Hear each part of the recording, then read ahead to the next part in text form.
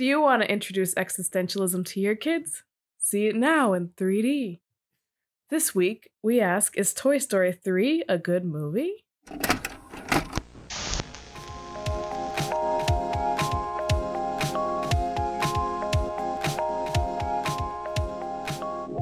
Welcome back to our podcast where every week we're on a quest to curate the best movie collection. In a time when your favorite movies are constantly fluctuating through multiple streaming services, it is important to decide which movie has earned a spot in the collection.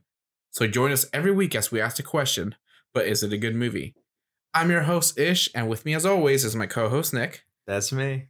And we back is Mia Hi, it's Mia. and Nadia. Hello. All right, gang. So we watched Toy Story 3 for this week. I personally think probably going to be one of my favorite ones out of the whole. I don't know. eh, What are they? Trilogy? Well, now it's I uh, a series, I guess you would say. A series. There's, there's four of them now. Yeah. But back when it was just a trilogy, A What- what is- quadrilogy. what a strong way to end it. Honestly. Yeah. I feel like I didn't remember this movie being as good as it actually was. Yeah, I think it might be even better watching it like whatever time this is for me, maybe fourth or fifth time now. So, um, I wanted to talk about like a little bit of like the making of this movie because I feel like so far we've discussed with the other two Toy Story movies that making all the Toy Stories has been like a really rough journey.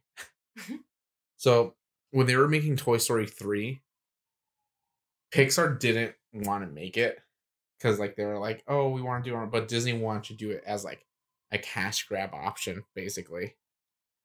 Um, so Disney was like, well, we own the rights to the characters because during that contract that they made originally, even though Pixar made the movies, Disney was able to like actually hold the rights to all like the likenesses and were able to make movies if they wanted to. So they were like, yeah, you know what, Pixar, since you don't want to like make this for us, we'll make our own studio and we'll make Toy Story 3 our own way. And I think I think they did that as like a like as almost like a bluff, as like don't like we'll make you guys make this movie. Yeah, kind of like strong arm them. But yeah, they- it's like it's like you won't have any like say over it. You're gonna Mhm. like lose your chance to like end the series off in a nice way, and Yeah. because we'll do it ourselves. Yeah, so like Disney made a new studio called Circle 7 Animation. And oh, the original story for Toy Story 3 was going to be a lot different. Oh wow. It was going to be Buzz gets recalled, so he gets sent back to um like Taiwan or something. And while he's there, they find out that they might as well just get another replacement for Buzz instead of fixing him. So like Woody and the gang go on like a journey to rescue Buzz. And Oh like my Buzz God. meets like a bunch of like foreign toys and stuff. Oh my gosh. Yeah. That, that actually sounds like actually like a really cool idea. Yeah. Yeah. I wish that's what four was. Yeah, that would have been sick. Yeah, it it was kind of crazy because that story it would have been also a lot sooner than like in timeline wise, so Andy wouldn't have been as grown up either. Mhm. Yeah. Hmm. So it's insane what could have been, and then Wow. Pixar was like, no, like we'll do it because it's like there are babies basically. Like they made these characters, they made every like the franchise what it is. So they're like, okay, fine, we give in. We'll make Toy Story 3. And when they finally started working on Toy Story 3, they didn't even bother looking in any of the notes of the, the original draft of it. They like trashed it on. We're like, we're starting over from scratch. We're like, that's not ours. Yeah, because they wanted to make it. Okay. So that's like a little of like the history of Toy Story 3. Another thing that I don't know if you guys noticed in this movie was um Slink has a different voice actor. Mm-hmm. You can tell. Yeah, because um the original voice actor died in um 2000. Mm. Mhm. So he died like a couple months after Toy Story 2 came out Oh dang. Of lung cancer. But they got Blake um Blake Clark. He's like in a bunch of Adam Sandler movies as to replace um that voice actor. And it ended up being that they were actually really good friends. Oh, okay. That's So it's kind of cool. I was gonna say, uh, I didn't notice a voice difference really.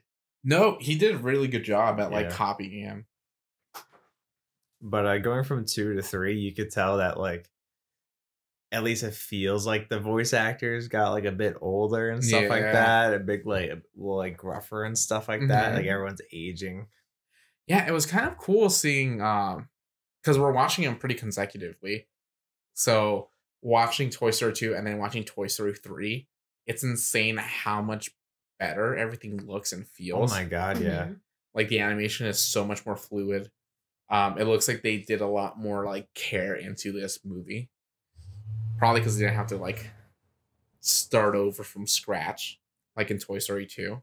Yeah, they were able to make their movie probably in one go, I'm assuming. I don't know. I know it's like um, I don't know how many rewrites they would have had, had to do. If Disney was gonna be like, oh, we'll make it ourselves, like Pixar Mhm. probably couldn't have been like taking like too much time to redo things. yeah, Probably had to nail it pretty good the first try. Yeah, I know when this movie came out, I I didn't do a lot of research on Toy Story 2, but I know this movie won two Oscars. It won like Best Animated Feature Film of the Year, and it got Best Achievement in Music written for Motion Pictures. Ooh. Yeah, so it's kind of insane. But I wanted to ask you guys, like, so this movie is 12 years old now, came out 2010. Do you remember seeing it for the first time? And, like, Yeah. your original thoughts on it? hmm I feel like so watching it yesterday, or yeah, watching it yesterday, and then it really brought like all of the emotions I felt. Like I remember Mhm. feeling because I saw it in the theaters. I went with my mom to go see it, and I remember in that first like thirty minutes of just like either tearing up and crying or just feeling that like want to cry and i Mm. i had that like again and i just felt like the tears like right there the whole that first 30 minutes and it's not it's like it's such like a bittersweet movie and i think that's Mhm. what makes it so special Yeah, I saw it in the theaters with my mom, and it was one of the first times I ever saw like uh, like a midnight release of a movie. Because I went like Thursday night, Mm-hmm. and because uh I was off the next day, and so was she, so we were like, "Oh, let's do it." And I remember like on our way home or whatever, she was like fucking bawling her eyes out. I was like, "Damn!" I was like, "Calm down, it's okay." But after watching it, because like that was like what 2010, we were in high Mhm. school, so like watching it now after college and shit, I was like, "Oh my god, Yeah. this movie hits harder. It's Mhm. different." mm-hmm. Yeah, no, I, I remember I saw it in the theaters as well. And I do, I definitely got emotional, especially when they were like about to burn up in a trash fire. Yeah. but um Rough I shit, don't man. remember like being as enamored with it the first time I saw it as I did the second time, like watching it this time around. So I'm pretty impressed with it. Yeah. That's cool how we all saw it in the movie theaters. Mm-hmm. Cause yeah, because we were all in high school at that time. So I feel like we were roughly around like Andy's age watching this. right right And so we really did grow up with this franchise. Even though I didn't like love Toy Story 2, I still saw a ton as a kid. So like watching Toy Story 3 like really hit home Oh my for god, some yeah. reason. yeah Espe- like a lot of like the um like the questions that that movie makes you ask yourself like as like now you're almost an adult and like watching this movie and watching these toys that you thought were going to be around forever and like usually when movies like in animated movies especially it's like always like oh yeah and they lived happily ever after but toy story 3 really makes you like see the reality of like ever after isn't an actual thing because things always come to an end Yeah. You know, like even in like your happily ever after, you're Mhm. still gonna have to deal with like change. yeah You know, they all they all made it off the airplane and they all made it back to Mhm. Andy's house at the end and they all got to go get played with and yeah they all got Andy's name on their foot. Mhm. I don't know why I said like that foot. But um and then now it's like 10 years later, Andy's Mhm. going to college and a majority of our cast of characters are gone yeah they didn't make it you know yard sales and garbage day and shit like that Yeah. so like only the favorites made it so I feel like as I was watching it, I was also like, now I'm a year older, so now I'm like even relating even more to like Andy growing older. And at that time in high school, I was like getting rid of some of my older stuff. So it's kind of weird, um, just like that feeling Mhm. of like I've never related to like an anime movie that hard before. I don't know if you guys have like similar experiences in high school. What two, 2010 it was my freshman year Mhm. of high school. It's probably the end of your freshman year. I was a sophomore, 2010. Yeah. So I don't know. I definitely still did have some toys laying around, and it definitely like gave me some feelings about them. I didn't take them with me when I moved away though, so I actually don't really know what's happened to my childhood toys. Gasp. Ooh. Oh my god. Did they They- make it to the attic? Are they in the trash? Who Dumpster knows? fire? Or are they in a concentration camp somewhere at daycare? God, I hope not. Yeah, now you start thinking about it. You're like, oh fuck, what have I done? Um, so let's get into the movie, right? So, Nick, like quickly, what's the movie about? It's the Shawshank Redemption of the Toy Story series.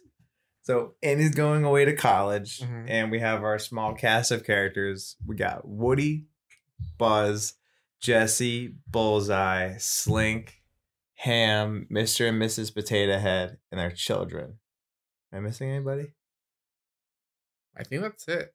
So that's it. It- Not like a big downside from the other movies, but we don't have like the gang, you know, like yeah, like the Andy's Toys entourage. We don't have like the Speak and Spell, Bo Peep, RC's gone. RC is gone, the shark. the Shark, Mr. Shark. Mr. Shark's gone. Yeah, Yeah, it was kind of um, it was sad when the Woody was going over all the people that they like.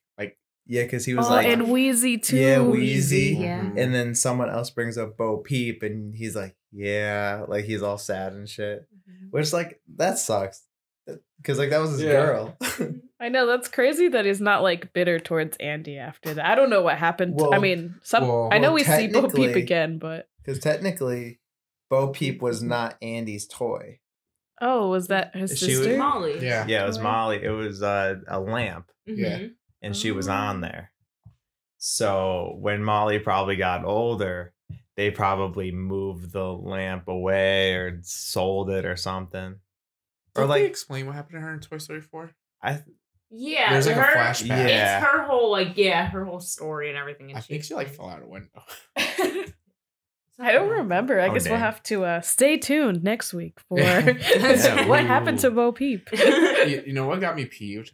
Well, when they were going over all the people that are gone, is that they were talking about how Wheezy's gone now, and I was like, all of Toy Story Two could have been avoided.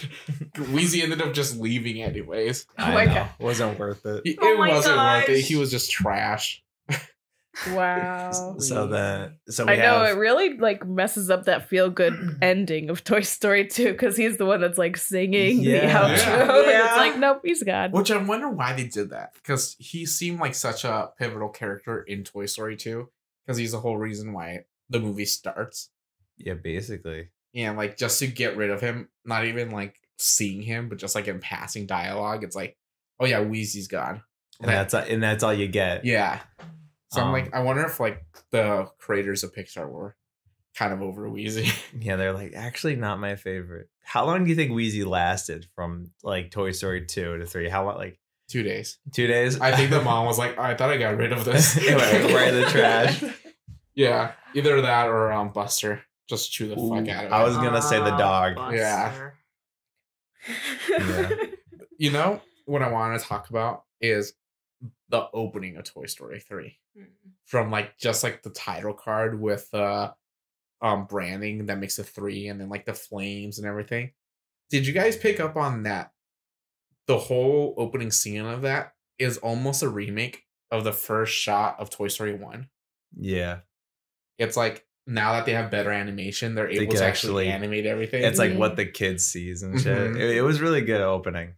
Yeah, and when I was watching Toy Story three, um, right before uh recording, I was like picking up a lot of the things, or I was just like, oh yeah, Andy calls Mr. Potato Head One Eye Bart in the original movie, and then when Mr. Potato goes like money, money, money, that's the same thing he does in Toy Story One. It's like a lot of the things, even up to the point where um, Mr. Pot- when Mr. Potato Head escapes in the Barbie car and Woody catches up to them, and he's like oh, I brought my attack dog that's also a force field. And, and Woody's like, well, I brought my dinosaur that eats dogs with force fields. It's like that's like exact, quote Exact from riff. Toy Story One. Yeah. Yeah, I thought that was really cool. Mm-hmm. And like when and so I love when the runaway like the runaway train's happening and they're like the orphans. It's all Mm-hmm. The trolls Yeah. hanging out. And it was like they had the same expression as if you were just holding one, just Yeah. staring at you. Um yeah, Yeah. So, and then and then we have uh Buzz being OP even in Andy's stories. yeah. Of This fucking could just pick the entire train up. What was the point of Jessie and Woody at that point? Yeah, right. Buzz Lightyear could just do it all. uh, Woody's Roundup taught Woody nothing. no. No. I, I did like that whole feeling because it was like I like this opening better than Toy Story 2's opening because Toy Story 2's opening was like fun and it was like it's something new we've never seen before. It's like Buzz Lightyear's video game. But I feel like Toy Story 3's opening captures perfectly the essence of what Toy Story is supposed to be. Like this overactive kid's imagination. Especially the part where like they are going back and forth about like the force field and then the dinosaur eats force field. I feel like that's what kids do, where it's like, oh, my character could swim underwater. It's like, well, my character could fly lift up everything underwater. And it's just like it's just what kids do. And even before you realize that this is Andy's imagination and what he's pretending everything is, it already feels like a kid's playtime, right? Yeah, no, totally. And I like how it is like the first movie, basically. Mm-hmm. I like that. It's like a fun callback because like 95 to 2010, like such a long gap. And you're like, like, yeah, we grew up with this series. And Mm-hmm. then like to it's like there are probably like so many people, probably adults watching the movie. Oh, I remember Yeah. this is what Andy said.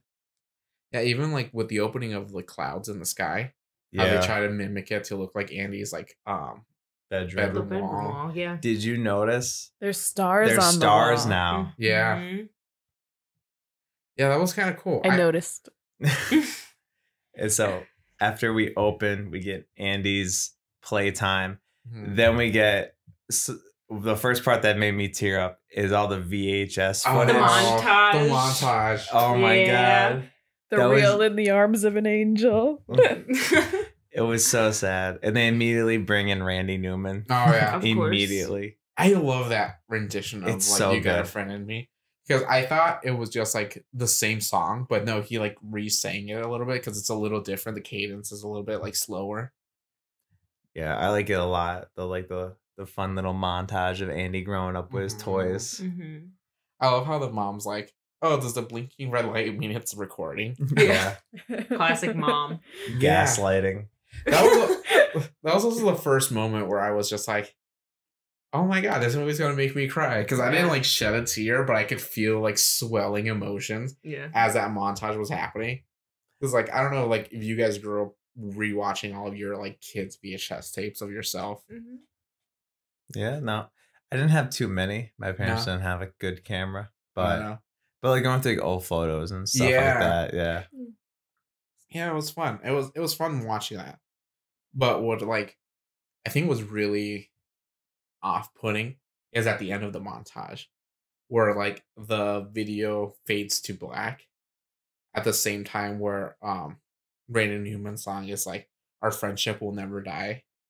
And it's just like, oh, something's wrong. Mhm. yeah, because it, it felt so good and like the song was kind of slowing down to that point and then those lyrics don't have any music behind them it's just like those words with like the video fading to black it made me like feel like something was wrong like the whole time and then it cuts to the toys in the the toy chest right yeah, Mhm. yeah. Where we find out who's left, yeah And- And like the and- ploy. and they have Operation Playtime, Mhm. where they steal Andy's cell phone. And Yeah. they call it.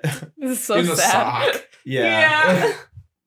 Um, oh, where we actually find where we have three army men left. Yeah. yeah that's Sarge insane. and the boys. Oh, another moment that made me like tear up as they're like, "This is the end of the road for us," and they're getting ready to leave, and I'm just like, "Ah, like That- no." that was definitely a moment where I felt like my first tear form is when Sarge turns to them and he salutes and he's like, "It was an honor serving with you." I know. Weird, weird comparison. But when they jump out the window and they like fly away on Uh-huh. their parachutes, all I thought about was the end of Charlotte's Web, where all the babies fly away. Mhm. I was Oh. like, they're leaving us. So after that, we find out that Andy's going away to college Mhm. Friday. Yep. And his room is packed still. He has to like do all his like getting rid of shit. It's either to the attic, donate, or Mm. trash. Dude, the toys are always on a time crunch. I know they're always like they got a weekend to Yeah. like go across town and back. I know what Toy Story 1 had like two days. And yeah. I think Toy Story 2 was also two days. Yeah, I think so. That's insane how like all Yeah. these movies so far, like these Yeah, they're all- They're all like weekend trips. Mhm. And then I think this one is like maybe four days. They might have four or five days. They might have like a work week Maybe. in front of them. And uh so so Andy decides to put his toys in the attic. Mm. But first they're in a garbage bag. Which kind of like they're like, fuck, we're screwed. But uh but so when he was putting all his stuff away and stuff like that, I did like how he held Buzz and Woody in his hands Yeah. first time I watched it, I thought they were both gonna go in the trash, or he was gonna take Buzz and Woody, and then like it mm. was gonna be the whole moment of like Woody's gonna be all like fucking like pissed that Yeah. he's not going to college. But I was, but I was like, oh wow, he he picked his very first favorite toy to go to college with him. Yeah, I, I like that. I like that dynamic of Toy Story 1 where Buzz was the favorite in that movie Yeah. after he received them. And at the end of it, it made it seem like they were equal, like on equal terms. Mhm. But it's cool how this movie just reinforced that's like, no, Woody's always been the favorite. yeah, And that's never Mhm. gonna change. You had nothing to worry about, right? Even towards like the last possible moment of the of this movie, it's like reassure that Andy will never forget Woody. yeah. Woody was always his favorite. what I thought was interesting about that scene where he has to pick and choose what goes in the attic and what goes in the trash is we see um we see Molly, right? And Molly has to also get rid of some toys to donate. And it's interesting to see how Molly's a lot younger than Andy. But for her, she doesn't hold on to like toys as much as like Andy does. Because Andy, even as a 17 year old, still has a lot of his toys. But Molly's like over it. She's like reading Teen Beat and like listening to music. Yeah, I know she probably has like an iPhone and Mhm. she's like talking to boys and Yeah. you know She became Emily. yeah Yeah. So it's interesting. Like, is that? Do you think that's just because like of that the comment saying that girls mature faster than boys do? Oh, I didn't even think about that. Yeah, I can I see could see it. I could also see it all depends on like your interest growing up. Mhm. Yeah. Cause like I knew I knew like guys who like they barely played with toys growing up. They were all like outside and stuff like that. They were the athletic kids. Yeah. So instead of playing with toys, they played baseball and shit like that. Yeah. I want. Not our Andy. yeah. not I was Andy. curious. Like, if it was like a because she is a girl and they mature faster, or if it's like a generational thing. Since she is a lot younger, it's like it's like how people our age are always saying like, oh, we grew up playing with toys, and now kids nowadays now all they're playing is video games, and like Phones. yeah, they couldn't care less about toys. Yeah. Mhm. I guess so. Like I, I played video games more after a certain point than with Mhm. toys. You know, so in like the age bracket to play with toys. But so like I look at, I have games that I'm like these are like my childhood video games, and like Mhm. I hold on to them just like you'd hold on to toys and stuff like that. I had a couple, but like nothing like I never had like my own roundup gang. you know. Agreed. Same. Same. So like maybe it is kind of like a generational thing or stuff like that. Because Mhm. like a lot of my stuff was hand me downs. yeah, So I didn't have that connection to it where I was like, these are mine. Like, no, these were my brothers actually. you know? okay. So I don't know. But who knows? All I, I- know, Barbie gets fucking shafted real quick in that movie. Oh. Poor Barbie. Poor Barbie. The most adult toy in the Yeah. movie though. Yeah, I do like the few quips that Ham has, where he's like, "I called dibs on Barbie's Corvette." Yeah. Which like I feel like he said something about the Corvette in the last movie. yeah, because he was driving. It. Yeah, he was driving it. and then I also like when um before that even happens, and they're like deci- deciding that they're gonna go up in the attic. He's like, "All right, come on, let's go see how much we're worth on eBay." oh, I wanted to, since we're talking about kind of the in like uh beginning of the movie they they kept uh Woody stitching from the last movie. Yeah. The red stitching Andy did with like the weird little muscle the on the red- one arm. Mhm. Yeah. yeah.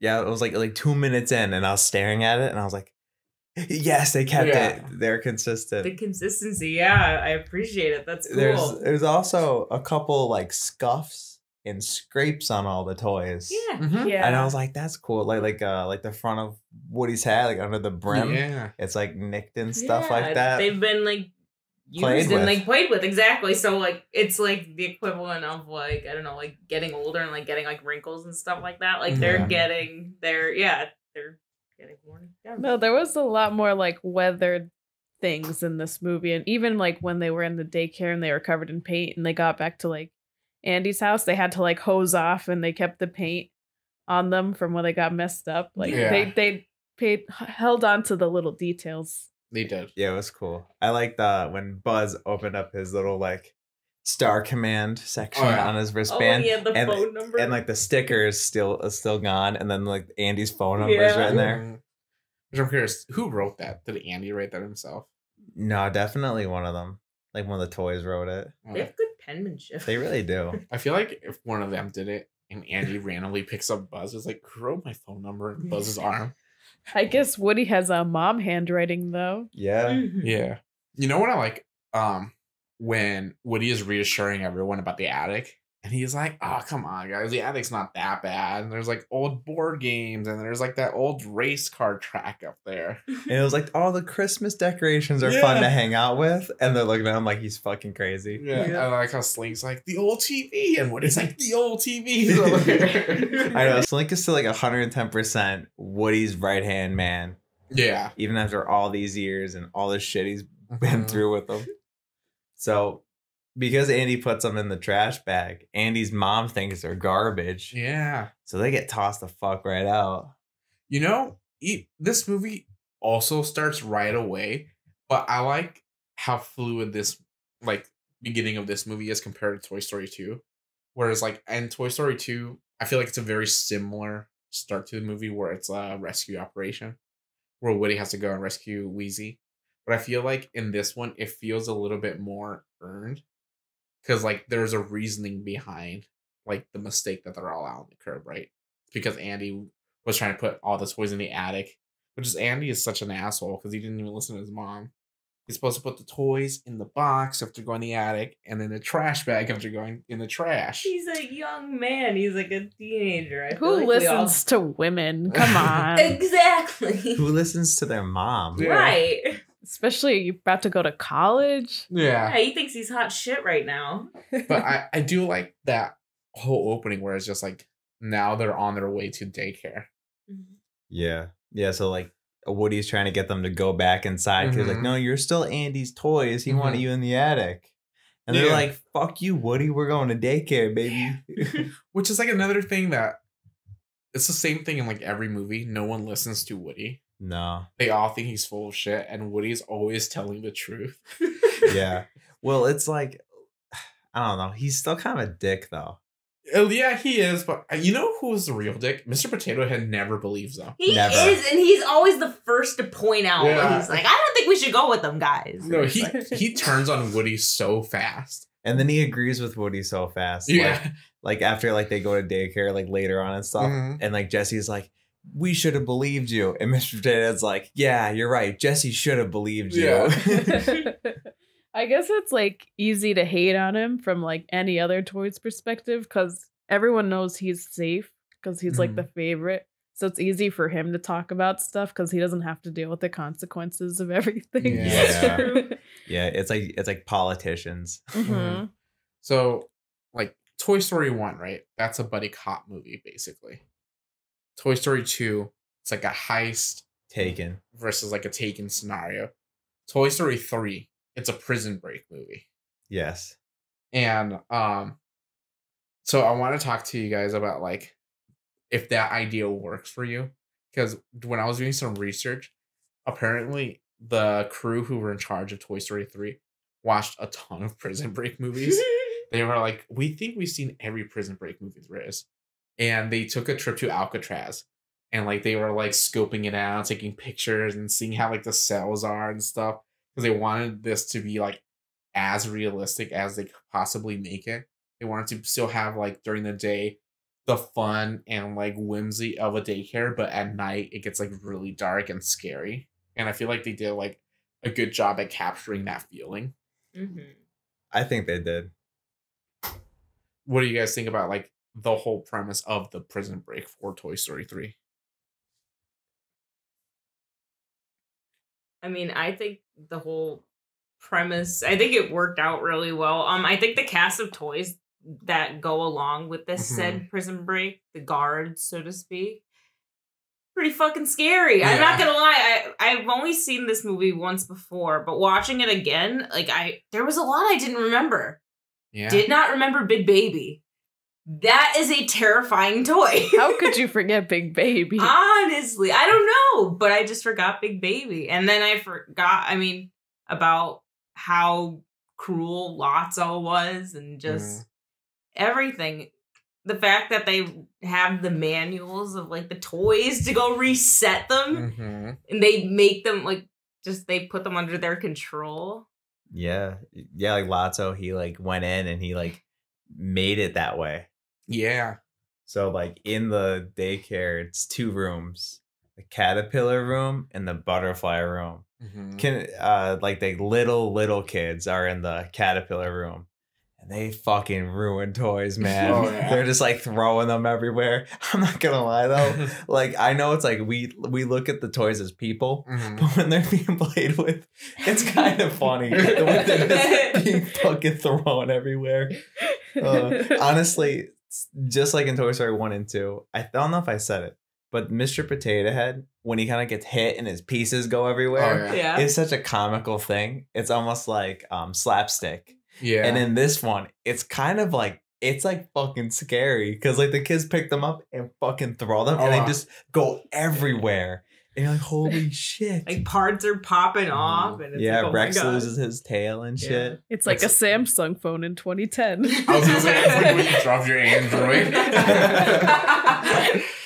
Yeah, so uh, when they make it to daycare, they're greeted by Lotso Huggin Bear. He smells like strawberries, Mhm. which is fucking weird. Yeah, I was trying to figure out if he's based off of anything. There's probably a toy out there. I believe so. Yeah, my sister had something like it. Yeah. Mm. I was gonna Yeah. say like a Care Care, Bear, it is like a Care Bear, yeah. Yeah. but I don't know. They're not usually scented though. But it is funny that he was like in a junkyard and he still smelled like strawberry. Yeah. He did. Yeah, so yes, we have Lotso, Big Baby, Mhm. and then kind of like the little entourage. But I don't know if they Yeah, had it was like an names. octopus- yeah, oh, and like- Ken, you can't forget about I was Ken. gonna bring him up. So he's main character. so the the octopus is named Stretch. Stretch. Stretch. You have like the bug guy. He's like the muscle Moth. Yeah. moth, moth bug boy. Yeah. Yeah. like- oh and yeah. then you have Crunk. That's not what I'd call him. Yeah. He's like a stone golem, and he hits his head, and the faces change. Oh, and then he had fucking Bojangles. Oh, the oh, the monkey. One. oh yeah. Yeah, and you had the monkey, and then you had all the trucks and stuff like that. Mhm. Yeah, like the Tonka truck. But yeah, we and then we have Ken, Mhm. who is, which the movie really wants to like fucking harp on. Ken is like gay, Yeah. but still madly in love with Barbie. So, uh, did you guys realize who Ken's voice actor is? No, No, no. it's Michael Keaton. really. Oh, okay. Yeah. Oh. Rewatching this, I was just like, funny. he sounds really familiar, and I googled it, and I was like, it's Michael Keaton playing Ken, and I was like, he did a really good job as Ken. That's cool. I'm kind of glad I didn't know that when I was watching the movie. Really? Yeah, I don't know. I would just imagine Michael Keaton as Ken. it would really mess with me. I, I love that that he is Ken. Just like Batman. Yeah, because Ken is like Lotso's second in command almost, right? Yeah, basically. Because I wouldn't say the baby is second in command. It's almost like muscle. Yeah. Yeah, That's it's, bodyguard. Yeah, it's, it is the bodyguard, exactly. But Ken is like the guy who's like, Yeah, he's like he has a little bit of the still hate his twitchy eye. yeah. So yeah, so uh, they put all the new toys in the caterpillar room, yeah. and they were gonna put Barbie in there too. Mhm.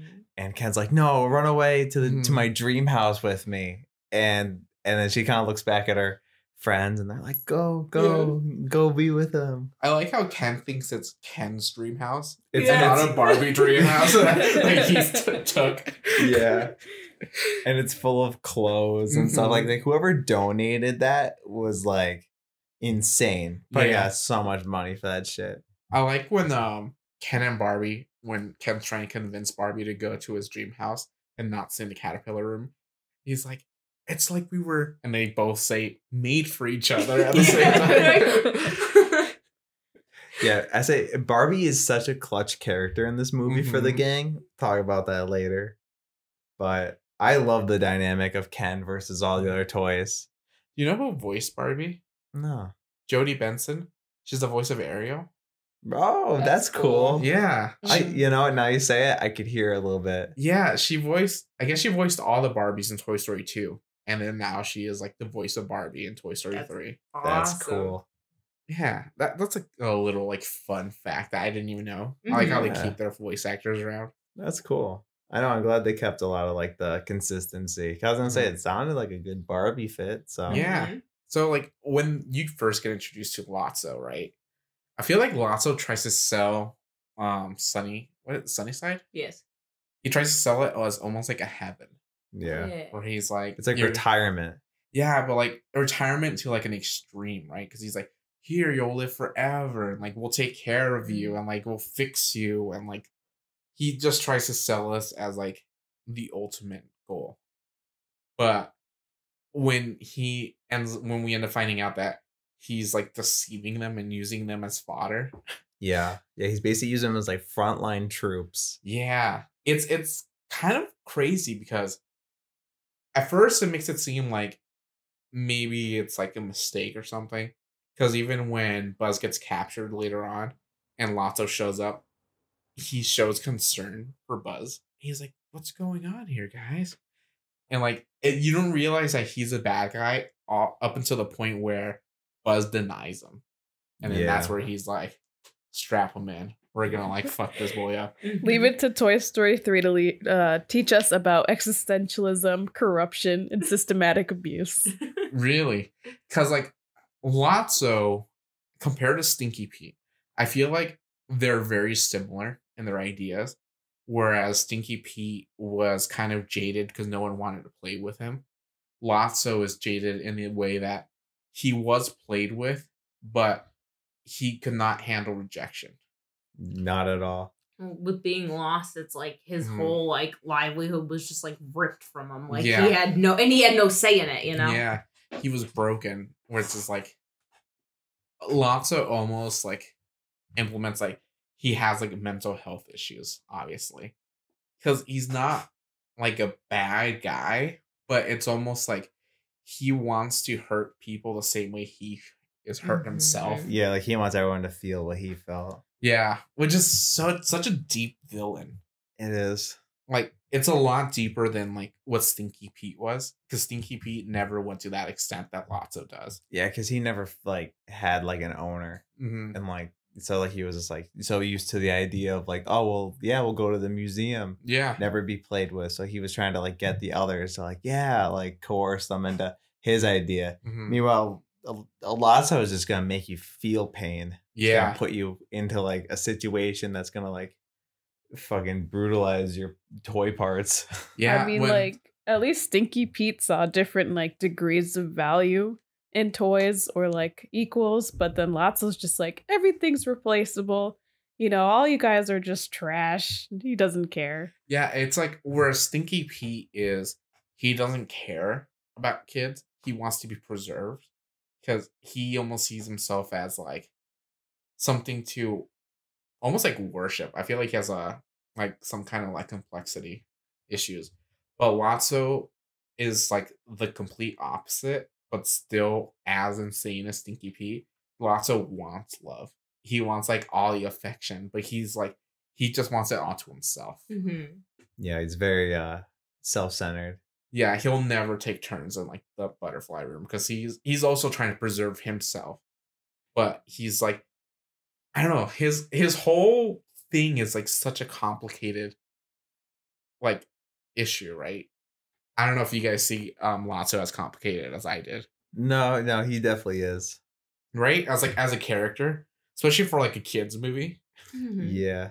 Because like I feel like at surface level, kids will understand like this guy's bad, like boo Lotso. But as an adult, like the more you think about Lotso and like what he's doing, it's like Lotso's really fucked up.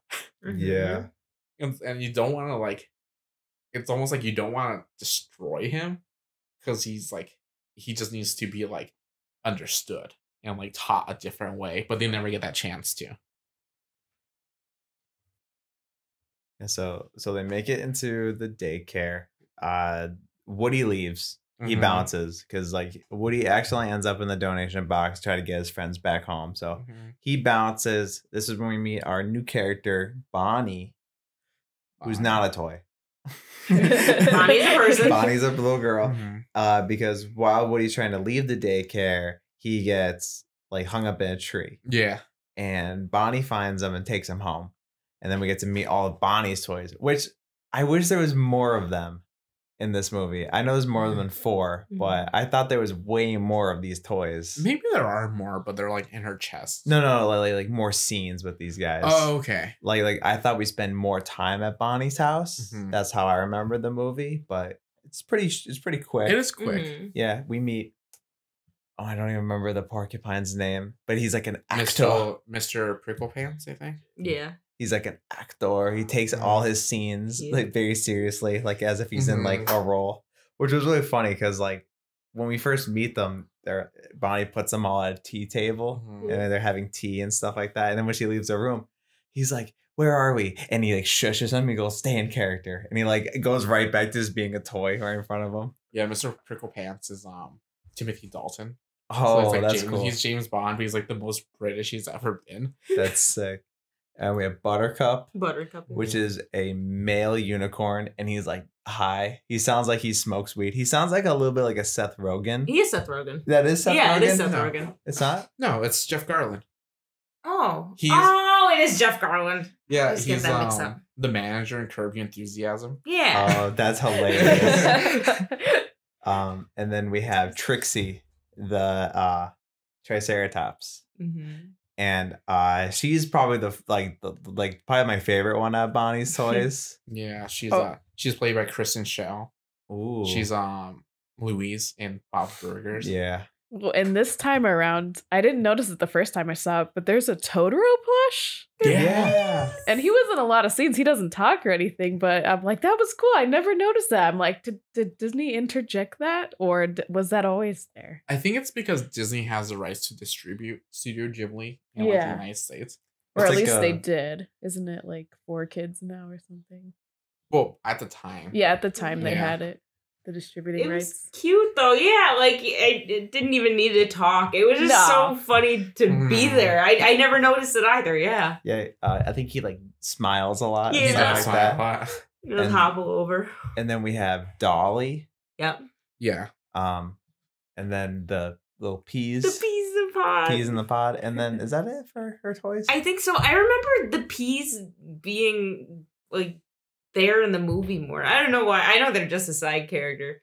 They're so funny. Their voices always got to me because they're just little kid, little voices. And they all talk like this, and they're so cute. You're missing one character. Fuck. Do you remember? Who? Chuckles. Oh, Chuckles. Yeah. Ah, Chuckles the clown. love Yeah, which we understand that he's he's more vital to the story than we know. Yeah, it's in um It's when he's trying to leave Bonnie's house and he learns about um like what Sunnyside is. yeah, which is kind of a cool way to introduce that because Woody only leaves because he wants to get to Andy. He doesn't leave because he thinks Sunnyside's a bad place. He thinks it's a good place, right? He like he's Yeah, like, yeah, this place is great, but we have an owner. We have Mhm. Andy. Yeah, we have Yidna. yeah, Yidna. Who's Yidna? Who's Yidna? So it is cool when he's leaving, and I think it's Buttercup or someone asked, like, "How did you escape?" It was Yeah. like, Mhm. "What do you What do you mean escape?" And then that's where we get the whole backstory of who Lotso really is. Yeah, so um Yeah, because what Giggles was like abandoned. Oh, sorry, Chuckles was with Lotso. Yeah, he was part of the Lotso gang with Big Baby. Yeah, Lotso. Big Baby, Lotso, and Chuckles. And they all belong to Daisy. Daisy. Yes. And Daisy took them on a picnic one day and she fell asleep and her parents forgot to put her toys in the car. And so they all got left behind Mhm. on accident. not Terrible on purpose. parents. No, that's the sad part because um Chuckles is the one that's saying how Lotso didn't give up. So in that time, Lotso was like Woody. He's like, we have an owner, we have to get back to them. And it almost made it seem like Chuckles and Big Baby were like, okay, we're abandoned. Like, let's move on. But he's Lotso's like, no, we have to get back. And they journey all the way back to them. So I don't even know how long that journey takes because it seems like a lot of time has passed. At least enough time where when they finally arrive back at the house, Daisy has a new Lotso bear. Yeah. And it's funny because I know like Toy Story 2, they brought up the idea of like having multiples like on the toy when you go into the mm-hmm. toy barn. But like I don't know, like that idea never crossed my mind that she would get like a replacement or anything. And mm-hmm. I'm just like, whoa! I'm like, I forgot. I mean, duh, yeah, toys exist in quantity. Yeah, which is like a more heartbreaking part of the story because Lotso sees it as a betrayal almost. Like we were abandoned. Yeah, he got stabbed in the back and he was replaced because he's so replaceable. But it's not that. It's that Daisy loved Lotso so much that her parents replaced him with another Lotso bear because of how much love and affection he, she had towards this bear. Yeah. But he could not see that. yeah. He only saw it as betrayal. Yeah. Oh, and I could only imagine. I mean, Woody, at least Woody is like a vintage, unique, like obviously from Toy Story 2, a valuable doll, even? Yeah. Or yeah, there's figure? no way Andy's mom's gonna be able to drop like six grand on a Yeah. new Woody doll. But I imagine if Woody was in the same position where Andy replaced him with another Woody doll, he might break. He might be Yeah. a Lotso. yeah. Well, luckily he's always been able to be back in time. Yes. So that that's like another important like difference between Lotso and like Woody because they're very similar in like Mhm. what they believe in and everything. And like when he snaps, I do like the little mention of he immediately immediately is like fearful of being alone. So he convinces like Chuckles and he convinces Big Baby that's like, no, we were all replaced. And like Chuckles is like, no, no, you, you When- were replaced. Yeah, only you were replaced because he saw and he and Lotso refuses to let Big Baby see. Yeah. Mhm. which is like it's so crazy how Yeah, because quickly everything happens. his big baby is manipulated to go with him, hmm but like Chuckles just kind of has to now follow. Yeah, You know? yeah, because Lotso almost forces them to leave. Yeah. He rips like Big Baby's like Daisy pendant, yeah. Mhm. and I, I like how Chuckles kept that. He kept Yeah. it like all these years. Yeah, and when he we finally see um, because they leave on the Pizza Planet truck. Yeah. Yeah, and when they uh they all get Yo. bumped off. I think that's where like Lotso develops his like limp.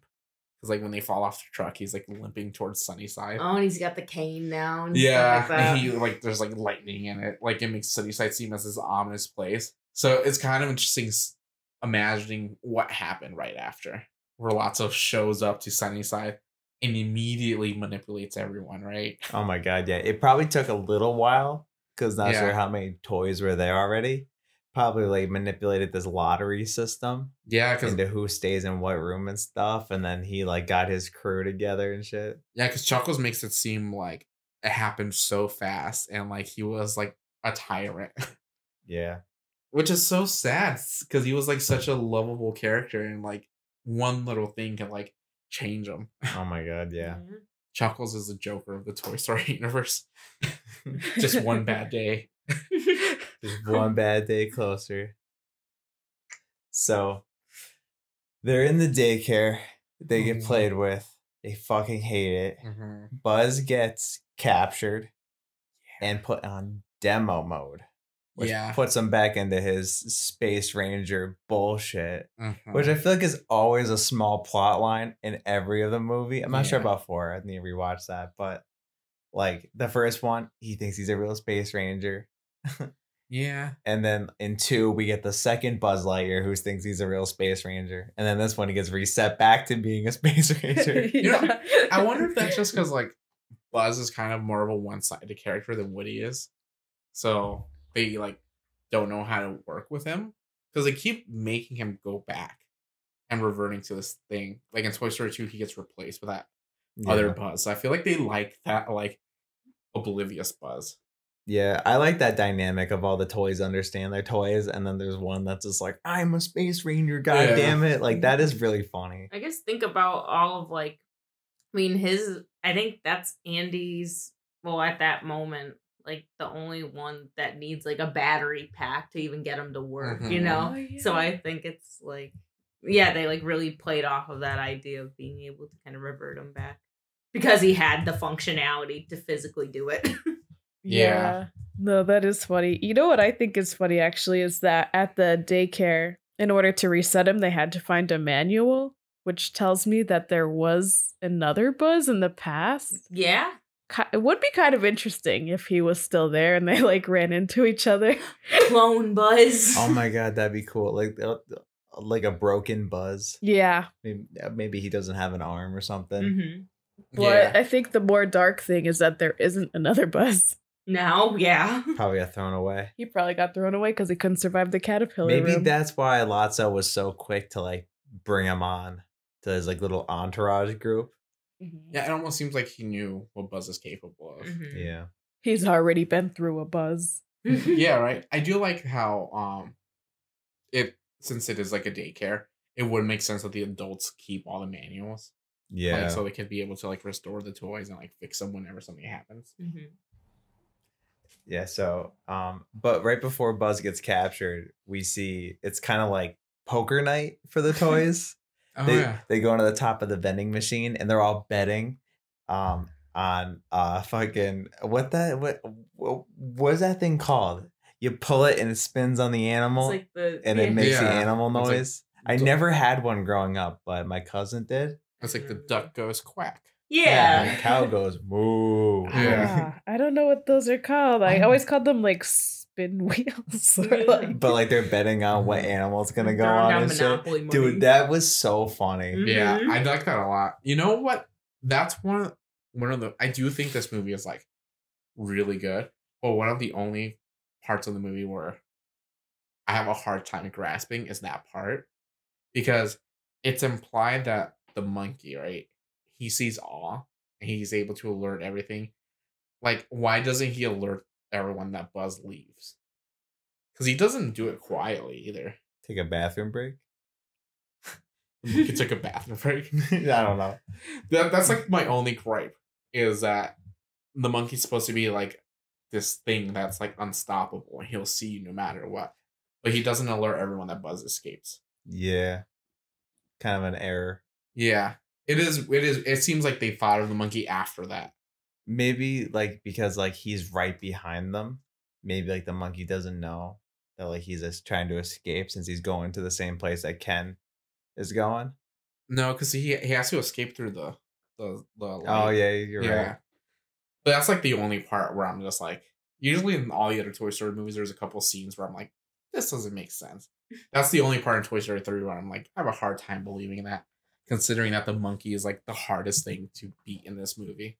Sorry, I know we moved on from this, but according to Fisher Price, the little spinny wheel is called a see and say. Farmer says. Ooh, see and say. See and say. Yeah. Mm. Wow. You know, going back a little bit, since I'm talking about the monkey, did you notice that like the monkey is the first toy we meet in to- in um the Sunnyside? daycare. Yeah. 'cause Bonnie's, Bonnie's playing, playing with with him. him. Yeah. So it's cool how like the monkey stays up front the whole Yeah, time. by like the cameras and stuff, Yeah. it makes sense. he never goes into like the toy room. He's always like there at the front counter, Yeah. which is kind of cool. I just I noticed that this time when we were watching it. I was like, oh, that I I didn't pick that up last time. Yeah, so so Woody's told that his friends are in danger, and so he goes back to Sunnyside, hmm which suicide. Let's just be let's just face it, suicide mission. Sunnyside. Yeah, like I don't know, that'd be fucking scary. That's like that's literally like prison break concept. Like you're gonna go back into prison to bust prisoners out. Yeah. That's like- right. so so he makes it back and there was a character that we didn't talk about that comes back for to like tell Woody like what's up. It's the little phone on Oh, wheels. Yeah. the little When they Fisher-Price. first get there, he like bumps Woody in the leg and he's like, "Oh, hey there, little guy." And then he doesn't even like pay attention Yeah. to him. This time, he like listens to him and he's just like, "I don't know how you got here or like, I don't know why you're back, but they cracked down on security real hard." And he's like all like gruff and shit. Goes, "They won't break me." I like how he's got those shifty eyes. Yeah. Looking back Yeah. and forth. and he's just like, he's like, if you want out, you gotta get rid of that monkey. Yeah. And he's like, he's like, the monkey's eye in the sky, and he like goes through like all the heists. He's just like, and outside they have like the rolling patrol trucks and searchlights, and no matter what you do, you're fucked. yeah. I do like that where um he kind of looks at the window. He's like, they haven't broken me yet. I've been here for years. Foreshadowing. Oh, I know. But I, yeah, I think the phone is probably my favorite side character. Yeah. Yeah. Just of how gruff he is, and you don't expect him to be that gruff. Mhm. But just shows like how tough Sunnyside is. that this little Fisher Price Price toy, and I like how Woody calls him old timer yeah. because it's an Old-timer. old toy. that whole section is one of my favorite moments of Toy Story 3. The um the heist or like the prison break sequence where he's like showing you everything that has to happen. yeah, he's just like. He's like, what the walls? He goes like a cinder block, eight feet high, Yeah. only way, uh, no way through, only up Oh. and under. And, and it's like oh my god i love it because then they're like um like a window is always locked and it was Oh, like yeah. it was like the montage of all the doors locking and shit like that And, stuff, and he's like, the key is located in the office. And it's Yeah. like, so like the monkey not only serves a purpose of like the alarm, but he also serves a purpose of guarding the keys. yeah i think this movie really reinforced how much i love fucking heists like bank robberies and shit like that Mm-hmm. and like the plan making the plan is the best part of Oh, any yeah. of them like i didn't even care about like actually watching like the bank robbery just them Mhm. planning everything and like doing like surveillance and Mhm. like recon and shit i'm like that's the coolest part I I- love how i was like i want a job where i could just recon a bank yeah, like I love how they, they make the plan and they execute it like super well, right? Yeah. Like nothing goes wrong all the way up to like the end. yeah i think there's only like two snags basically they kind of hit which we'll talk about because it's the best part of the movie So yeah, like the whole breakout plan, right? They um used Mr. Potato Head as a decoy because earlier he This is- goes to the box Yeah. because he has a big mouth on him. it's the box is like um oh my god what is it called in prison when you're locked away like isolation. Yeah. Like yeah. and uh yeah so he's like thrown in the hole essentially and he's like all that's in there is sand and a couple of lincoln logs and like they're, i don't think they're lincoln logs buddy Solitary confinement. that's it Yeah. that's it fucking solitary confinement Dude, that line where Ham's like, I don't think those were Lincoln Logs. One of the reasons I never played in sandboxes as a kid. Because I'm like, they're just big litter boxes for any animal that walks by. Or any child. i hate that you both said that at the same time like as if you've witnessed a child taking a shit fucking or you both committed. I, I found a, a used diaper in a ball pit once as a kid, and ever since I've never been in a ball pit. Do it. My I feel like a sandbox might be the same concept. Yeah. I say my mom never let me in one of those like ball pits as a kid because of how gross they were. I did not realize how gross they were until until, Until that, fateful day. Yep.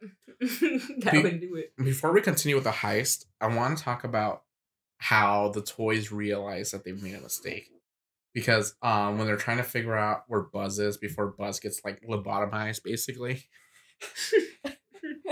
Mrs. Potato Head is looking for him, and she yeah. can see Andy with her other eye because her other eye the whole time is missing. yeah.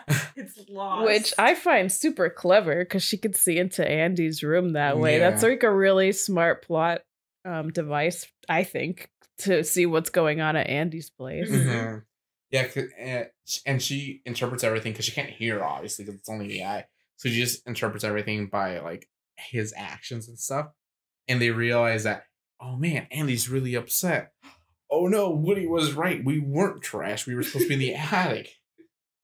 So I like how Ham's like, ah, I see you turned on him. And it's like, and Mr. Potato Head's like, well, you turned on him first. yeah, I know. I wonder what the range on Mr. Potato Head's like body parts are. Like, because like, because Sunnyside's not too far from the house. It seems like maybe a couple blocks or Mhm. so, and so you can still see your eyes. So I'm like, I'm wondering, like, could you drop off like one of their eyes or ears in like another state and fly them over? They'd be able to see in here. I don't know. But I also- want to know. I want to know the Bluetooth. It Yeah, makes the you- radius. Yeah, the radius. it's a Bluetooth. it makes you also think, right? It's like, does that mean any of their extra body parts are always functional, even though they're not attached to the potatoes? Because it seems like it's only Mr. and Mrs. Potato Head that could do that. Because when Buzz's arm comes off in the first movie, it's Yeah. dead weight Yeah. Yeah. at that point. Same with Woody. Uh, Woody's arm, Woody's arm had like an inconsistency problem because Yeah. like it Well, didn't right, work one right. second, then didn't. But yeah, you're right. Maybe it's because the potato heads are like modular. They can go anywhere. That is a funny scene when um they're after they got destroyed in the caterpillar Yeah. room, how they're throwing their pieces back and forth between each other. Yeah, it's like, yeah, my nose. Oh, and all the things the kids shove up their like Oh, yeah. fucking ass. Like, the marbles and crayons and Yeah. stuff like that. You know, out of all of that torture, I think the one I felt the worst for was Ham. Because he gets shoved with a bunch of like glitter and like glue Yeah. inside of him. And I was like, no. Oh yeah, they make macaroni art on his back. so violated.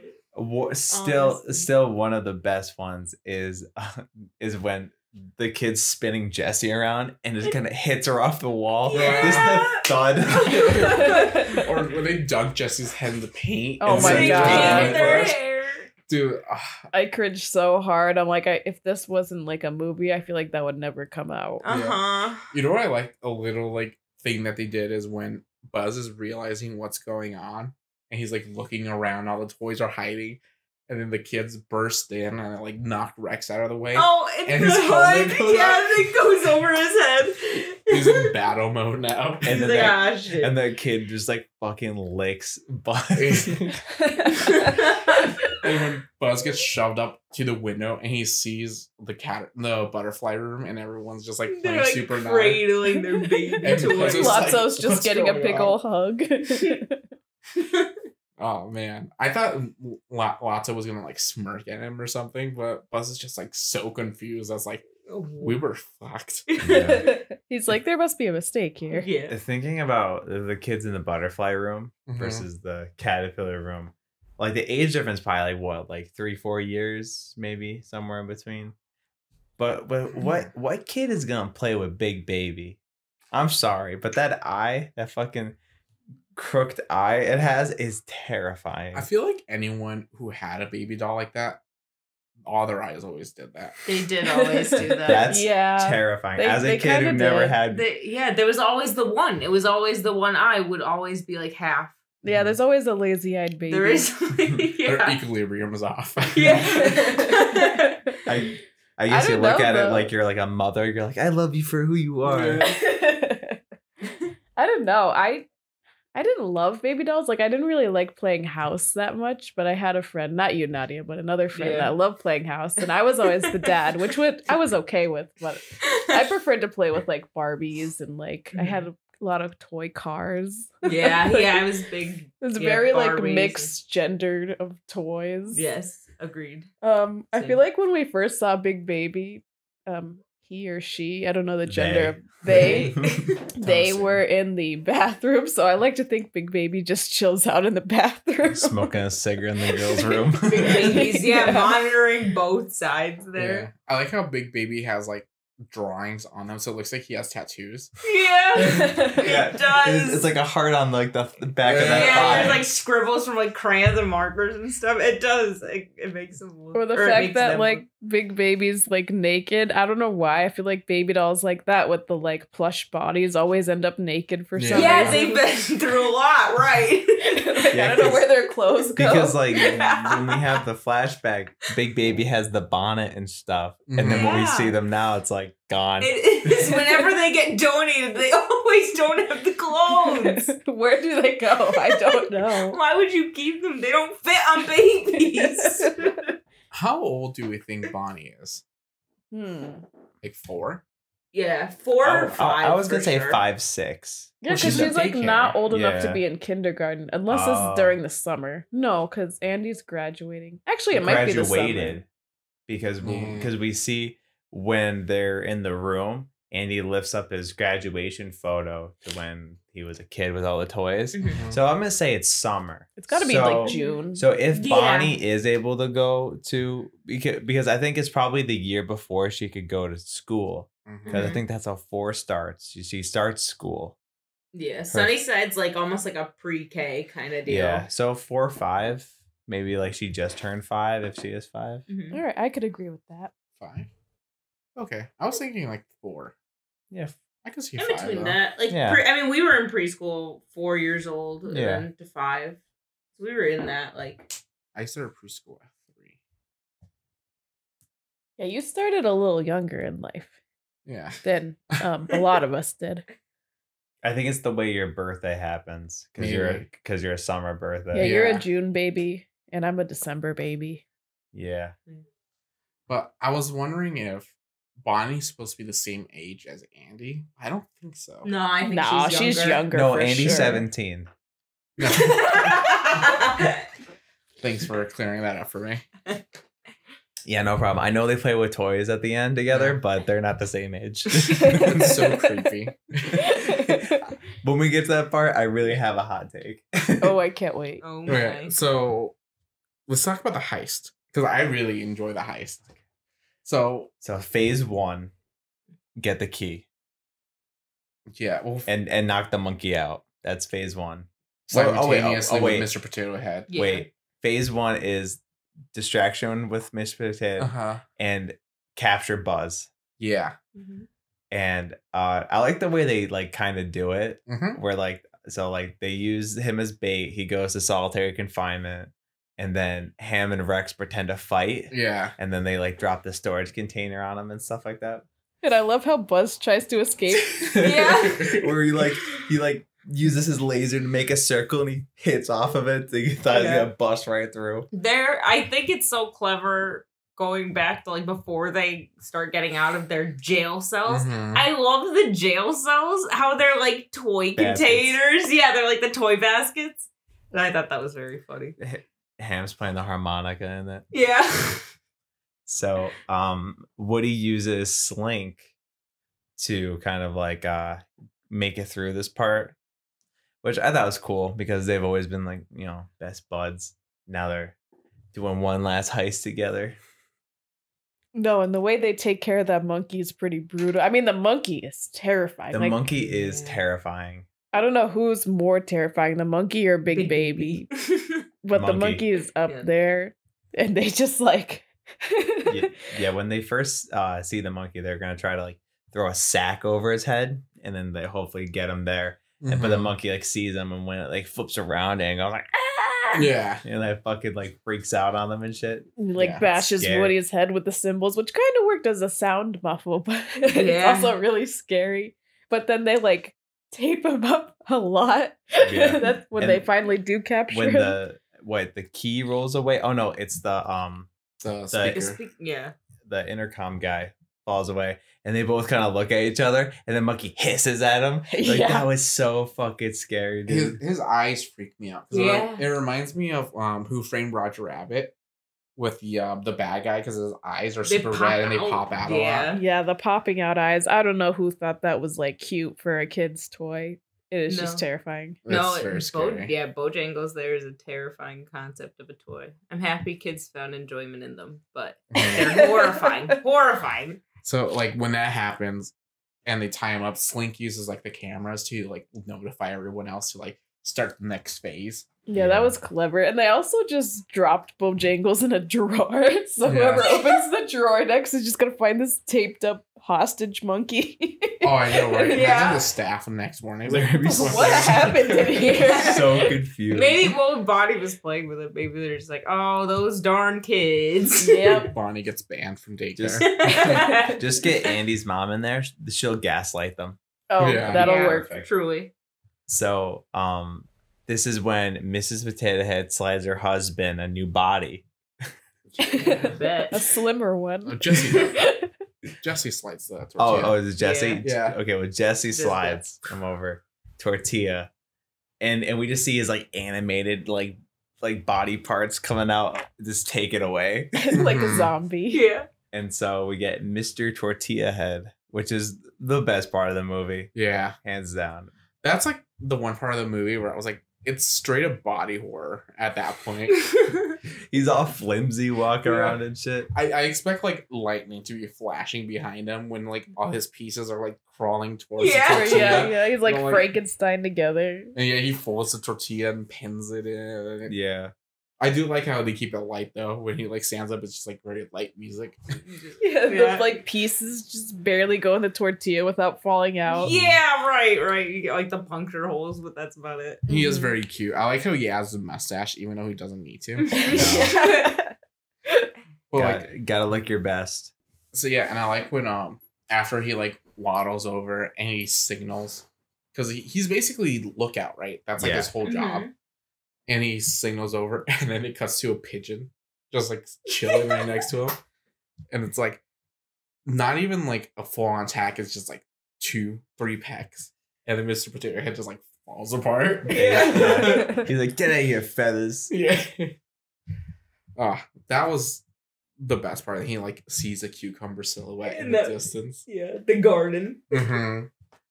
And then So- they they're able to convert Buzz, right? Or kind of convert him. Yeah, so they hold him down and they're like, oh, we need something like tiny to poke at the hole. Mhm. So they get Rex to hold it in. And he goes, okay, Jessie, what next? He goes, uh, don't hold it for more than 10 seconds. And then like Buzz like dies. Yeah, And then comes back to life and he's in Spanish mode, he is in Spanish mode. which is so funny. I, I love how it's like um so I I've seen this movie dubbed in Spanish before. So like, what does it become? So okay, so it kind of sounds similar, right? Because when Buzz turns into Spanish mode, he becomes Spanish. So he speaks like traditional Spanish Spanish. From the motherland. Yeah. Of España. Yeah. so he like has a lisp and stuff whenever he speaks it. And when you're watching it like in Latin American Spanish, he also gets like a Spaniard accent. And then when you watch it in European Spanish, it just becomes an even more exaggerated version of that accent. Just archaic Yeah. Spanish. it's like southern Spain. Oh my God, Yeah. that's so That's cool. awesome. Because like, I was actually gonna bring that up. I was like, I wonder what it's like in other. Um, Yeah. because um it was what it was like that show bluey where like the one kid is like uh, speaks a completely different language Uh-huh. but when you watch it in that uh that country's language it's role reversed Yeah. where it's they speak english when like bluey spoke english i know that's like a child show but it popped up on my tiktok and i got very interested Yeah, Buzz just speaks like a very like ups- he's like almost like a matador. oh that's cool Yeah, I I do like that because it's like Buzz becomes very feisty in Spanish yeah mode. I know, very very spicy Very Mhm. spicy. very indeed. jalapeno I like when he turns when he first turns into like demo mode, right? He's already showing attraction to Jessie. Yeah. Because I feel like regular Buzz maybe he has never confessed that he likes Jessie, Mhm. but when he converts into demo mode, he's like, "You're like." What does he say? Like your charm is not gonna work on me, or like oh yeah, Yeah. Temptress. Temptress. Temptress. That's what it is. And then when he turns Spanish mode, he's like obsessed with Jessie. Yeah. Yeah. Can't hold his feelings He back. she is more beautiful than the night sky. Yeah. Yeah, with stars. And he tries to The up- desert rose. Yeah. He tries to like updo Woody every time Woody does anything. yeah, he thinks Woody's also in Yeah. competition for it. So he's like, no. I know I'm getting ahead of myself, but Buzz is the only one to try to save Jess Jessie when they're in like the trash when they're like dumped in the trash dumpster. This is true. Does it? Yeah, he was the only one that went after. Oh wow, I would have thought Woody would do something. That's Yeah. something that really stood out to me. I'm like, no one is trying to help Jessie. Just Buzz. And she's getting crushed. yeah, Oh wow. yeah. she would have got crushed by the TV. Mhm. Yep. But like all that ends with we find out that they finally broke the telephone and he like told on them. Yeah. Which is really sad. I, I hate looking at him because like they smudged his smile away Yeah. And he's like beat up. He's like, sorry, I finally broke. Sorry, cowboy. But uh right before that, so like we have because uh when they run past, so like Mr. Potato Head is Mr. Cucumber Head, and they get his Mhm. body back finally. Um first time I ever saw that, I thought he was a piece of shit. You thought it was Be- Lincoln Log? I thought it was a Lincoln Log. no, I it's a didn't- cucumber. Yeah, no, but the first time I saw the movie, I had a moment where I was like, wait a minute. Did they really just do this? And I was like, Oh. wait. Oh, because he went, oh, I feel healthy. No, But it I feels hate so it. fresh. Yeah. Fresh. so the whole gang escapes into the um the trash. the chute. trash. Yeah, and then that's where They we, get uh, cornered. Yeah. And Lotso shows up and he like Wait, what? we forgot about the big scene with Barbie and Ken. Oh, Oh, yeah. yeah. Part of the heist. That's Yeah. important. oh yeah, Yeah. Barbie is like Barbie's clutch. This is where she comes in clutch. And a little kinky. Yeah. Mhm. So so when they find out that the caterpillar room is just kind of made to like kill the toys Mhm. essentially, Barbie finds out. And Ken's like, no, no, no, Barbie, don't look. And she goes, What are you doing to my friends? So Yeah. she stays in the caterpillar room, breaks up with Ken. So part of that, when they're like tucking them in their cells at night, mhm. Barbie like pre- like pretends big Ken, I can't take it anymore. Yeah. You have to get me out of here. And he's like, all right. But- But it, you know, like the rules are strict around here. You gotta follow my lead, Barbie. Yeah. anything, Ken. And they're in the dream house together, and like Ken's kind of like, kind of like a little breaking point. He's like, no one appreciates clothes around here, Mhm. Barbie. Everyone calls me a girl's toy. I like how Barbie is like I feel like in other movies, Barbie would have been like a ditz. Or like Mhm. she would have been like, Yeah, fuck that. I'm gonna go into like the really good parts. But like Barbie stays true to her friends. She's ride or die. Yeah. She is. They're her family. She's a smart bitch too. Mm-hmm. Yeah, and I like how Barbie is like she points out that famous quote where she's like, authority should derive from the consent of the governed, not from the threat of force. Yeah. And meanwhile, you have like Mr. and Mrs. Potato Head or a play school Yeah. kid, like a toys, and they're like, what the fuck? oh yeah, no, I think it was like um the piggy bank and Ham. Yeah. yeah, ham and like, who else? what? Mr. Potato Head. Yeah. Mhm. Yeah. yeah. yeah, I do, I do like how Barbie stays strong, and she's like one of like the most pivotal parts of the heist. plan. Yeah. Yeah. Because uh, that's how they get the manual to reset Mhm. Buzz, which is another great scene where they just kind of rip on Ken. How they're just like they just accept that he's like weird and kind of like oh, yeah, very because of- She flamboyant. wore the astronaut. Yeah, so she pretends to be Yeah. Ken, and when she's walking away, her heels are still on. Yeah. And the and the guy looks over and goes, "Whatever." Like Yeah. that's Ken's Ken. weird. Yeah, Yeah. Ken's a girl toy. Literally. I'm, I'm not a doll. I'm an action figure. I pose. he like, so they end up escaping, but Lotso and the gang confront them, right? Yeah. Mhm. Which is also a point where Woody also confronts Lotso, so it's like a standoff almost. oh, are we at the trash chute right Yeah. now? Yep. In the And then- dumpster? And Yeah, then Woody brings up uh, Daisy, yeah, and he throws the pendant over. Yes, the proof. Over the big baby. Mm-hmm. yeah. So Mama. Yeah, that was sad actually. Dude, that's Big Baby's like only word. In the Yeah, entire movie. literally. Besides, Yep. ah. Yeah. if you count that. which is weird. So it's like all the other toys, even for how young they have to like that Mhm. their like audience is made for and stuff, they all kind of have like adult or like young adult minds and stuff like that. But Big Baby's the only one that I'm- we Big that I Baby know of. is- I'm gonna put it off to trauma. I was gonna say, do you think it's trauma? Because she was played, they were played with as like as a baby. So Yeah. like Mhm. maybe like They're stuck as. Yeah, I think she's So she's maybe- stunted. yeah. So then maybe like if they actually got like kind of like I don't know, like appropriately Mhm. like grown out of? Do you think Big Baby would have grown up? I don't know. Oh, My man. logic was just like big baby's the brawn. Big big baby's not that smart. Yeah. Big baby doesn't say much words. Yeah. Big Baby talk with fist. Who knew Big Baby would have such existential? 'Cause I always saw Big Baby- behind. I saw him as like sloth, right? Yeah. For like most of the movie. But at that point, and you're probably not gonna get this reference, Nick. But Big Baby does a Darth Vader move or they pick up Lotso Bear and like end up sh- throwing him in the trash. Because that's what mm. Darth Vader does to the Emperor. Oh, yeah. Oh yeah. Cool. And it's almost like shot by shot, exactly that. So It like, is- yeah.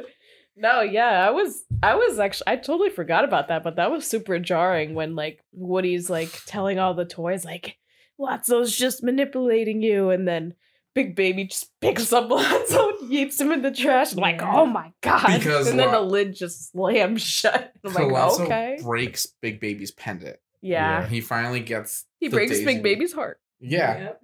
Yeah, because what did that thing say? It was like, It's you always belong to Daisy or something. Yeah. yeah, like you're always in my heart or something. Yeah. Like that. Or just You'll like, be in damn. my heart. But um, we also learn Ken is a good guy in Yeah. this scene. You know, he's like trying to defend them even after being manipulated by Barbie. and wrapped up in a paddle ball in his underwear. Yeah. You know, he still meets back up with them and stuff. He's either a good guy or he's just horny. He's a big simp. he's simp. so simping. He's He simping hard. simp. Yeah. Do anything for Barbie. They were Mhm. made for each other. God damn it. Down bad. Yeah. But when they uh finally close a dumpster lid and they're like running, one of the aliens gets like trapped. Yeah, yeah, because they would have made it. I Yeah. think. You know, yeah, because Lotso gets thrown in the trash, and then the lid closes, and then they're le- trying to leave, and then they get thrown away too because they went back after them. Yeah, when Woody goes back and saves the little green man, and the lid pops open, and then Lotso's arm grabs Woody. I was like, that was scary. Yeah. Yeah. I wasn't expecting that. That was like a like end of Friday the 13th Mhm. where like Jason comes out of the lake. Yeah, it's Yeah. kind of dark because like they were leaving Lotso there to die anyway. Yeah. That was gonna be it, right? Yeah. So when he, they end up getting also taken by the garbage, and it's like you said, uh, Buzz is like the only one trying to save Jessie, right? At that moment. Yeah. Mhm. because like the trash falls on them and they all get separated and then Buzz is glowing, which I like how they keep consistent that he starts glowing glow in the dark. Mhm. In Yeah. every single movie. And Woody's just like, everyone head to Buzz. So they're all running towards him. He ends up saving Jessie by sacrificing himself by having a huge TV crash on top of him. Yeah, it was one of those uh, tube top ones. Yep. Yeah. And that's how he regains who he is, Yeah. Yeah. Which is weird. I don't, I don't know how that would work, but whatever. You know, if you hit something hard enough, it just gets fixed. You know, Yeah. this is Yeah. true. yeah, duct tape fixes most of your problems and the hammer fixes the other. Yeah. when they get to the dump, that was one of the moments where I genuinely forgot what happens at the end of the movie because I was so invested. Mhm. And when like the bulldozer or whatever comes and takes the aliens away, I was like, "Fuck, they're dead." Yeah. And like toys start getting separated, and, and like Barbie and Ken are back at the daycare. Like they weren't there with them, so I was like, "Fuck!" Sh-. They're all getting separated. Shit's gonna go down, and they end up getting tossed in that trash chute. And like they make like the selfless action, and they save Lotso by like having him go in the magnet, and then they also save him by making him go up on the ladder with the belief that he's gonna turn off the like he's gonna push the emergency stop. Yeah. So the first part, when they like all the uh, everything that's like metal gets magnetized to the top, Uh-huh. so Slink goes straight up. Yeah. Mhm. Did you notice that like everyone was able to drop down because but all their stuff that they use to like go Mhm. up to the top is stuck up there? So like how the fuck did Slink get down? I don't know. So yeah, I'm not sure either. yeah. So Slink definitely would have still been stuck up Good there. question. Unless Yeah. they pulled him. Yeah. That'd be the only thing I could Yeah, think of. They but, all like but like him of how strong that magnet is. Uh, but I'm kind of curious, I'll let it like why they let go of the magnet too. But I guess either way, they were kind of screwed. I think they just didn't know what was coming up because that was when Rex points out like daylight. I see daylight. Yeah. Mhm. And he's like, that's not daylight, and they're all going into the incinerator. Yeah. That's Yeah. when they help Lotso up to the button, and he fucking betrays them. He pieces out. Yeah, Lotso betrays them, and they're running for their lives, and then they fall into like the incinerator room. And they're all trying to move and they like can't gain any more Mhm. ground and they just like hold each other's hands like no words are said or anything it. They accept They- death. They do. they they started accepting that they would all go together That was the part that really fucked me up. Like the first time I watched it, and even now remembering that, because it's like, it's such a deep moment. And what really makes me sad is when Bullseye's panicking, right? Because Bullseye's like a dog. He doesn't know what's going on. And he's like moving his arms and like he's really struggling to like comprehend what's going on. And Jessie just puts her hand on his hoof Mhm. and like calms him down like you would to a dog that's was, like, dying. Yeah, it was like the fight or flight was, Uh-huh. and that was Yeah. yeah. and then it was like that's all you I could know. do. i like how it was like all one by one they all started grabbing each other and then like woody is like the last one he Yeah. kind of he's still climbing up and he like sees everyone Mhm. and then, then he grabs buzz and slink's hand i think Yeah. and then they all just kind of face the fire and like it kind of goes on for like a A little bit longer than i thought It makes you think it's like, are It's they really gonna do this? Yeah. Are, are they really So- gonna kill them off? have you ever seen the viral video Mm-hmm. of the guy that pranked his mom with that scene Oh yeah, yeah. Yeah. He's- he showed his mom that movie but he edited it at, so that it ends there right when they're all holding hands and it gets close to the fire Mhm. he like eh, he like does like a like a fade cut and it's like and then credits start playing and he doesn't tell her for like a week or something Yeah. that there's more to the movie and stuff like that so she is fucking hysterical and Mhm. everything like that and i was like i wish i did that to my mom Yeah. That's messed up. So what, right? So all the Toy Stories, so like we've talked about so far, is like they all like try to deal with the fact of like the fear of change and the fear of the unknown. And I think this movie finally it's like it gets there right. Like Toy Story 1, it's like it it's accepted that they're still gonna be there and it's like they're gonna be Andy's toys forever. Toy Story 2, they're like, let's just enjoy this for like what it is and let's enjoy it for the moment. But like Toy Story 3, it's like the time has come. yeah the moment's it's over it's your time now. And I think there's still like a fight in them the whole movie. But at that point, it's like the acceptance finally chimes in where it's like nothing is gonna last forever. Stinky Pete was right. You're gonna end up in a dump and you're gonna like die. yeah So it's like at that moment, that's what I was thinking about. I Was like Stinky Pete was right. Like everything he foreshadowed happened to them. Yeah, totally. And then like the whole time we're watching it, we're like, what happened to the little alien dudes? Yeah. I Yeah. thought they like just left And- them behind. and then like they they use the claw They to became save their them. own god. Like that was literally it. the Which is crazy to think about because it's like they're accepting death and then the aliens become God, like their own God. So yeah like they intervene yeah, Divine It was, intervention. that's exactly what it mm. was. because when they arrive at the dump, the aliens notice the claw, right? Because they're like claw, and that's what distracts like, them, and oh. that's how they get like bulldozed over. So when they do save them, I was like, "Fuck, that was that was rough." That Like, was they lingered on that a little bit, and I like how they're like, "Let's go after Lotso," and he, Woody's like, "It's okay, not really worth it." i like how they just kind of like accept it and they just Mhm. move on and shit But I, I do like how Sid finds them. yeah, and puts them in like the Sid truck, the garbage man. That's Yeah. right. which is like no no no i don't think sid does it it is Sid. no no no oh oh oh for the Or rest of the toys find oh Sid. yeah 'cause Woody they find recognized sid i thought you talking about who finds lotso Yeah, it was Sid. Oh i thought it was that guy that picks him and goes mm, smells Ooh, like strawberries. strawberries. and then he puts them on the front of the car and then they find sid I i was thought that was two different people I was reading I think so. something where apparently it's supposed to be Sid, but it didn't look like Sid. well the t-shirt that's something that i thought the guy about. who picks him because I know that guy yeah takes him back, but the guy who picks up Lotso, i think it's a different guy Yeah. That's it a is a different different guy. guy. but for some reason everywhere says that that's also Sid. I Um, refuse to believe that. I, I, Yeah. I think that is they're not. Sid behavior. He doesn't No. care about strawberry scented things. No. No. Um, because I know um, it is supposed to be Sid because of like the shirt, or whatever. Mhm. But it's also the same voice actor who played Sid. Oh, that's okay. cool. He returned, so it's like confirm. But I I don't like how this movie is. It's like you know Sid, that really assholey kid. Well, now he's a garbage guy. Because like I feel like he he wasn't that bad of a kid in Toy Story One. It's like he could have been like an engineer or something. He wasn't that bad of a kid. He was getting bombs. yeah, but he was just like, nah, you weren't here for the recording of the episode. We've discussed that he is a kid that was left to his own devices, and he was a very like Misunderstood. misunderstood kid, and he was a very But- creative kid. He had an absentee father. But if that moment never happened where they traumatized Sid, he would have been like, I don't know, like an Imagineer or something.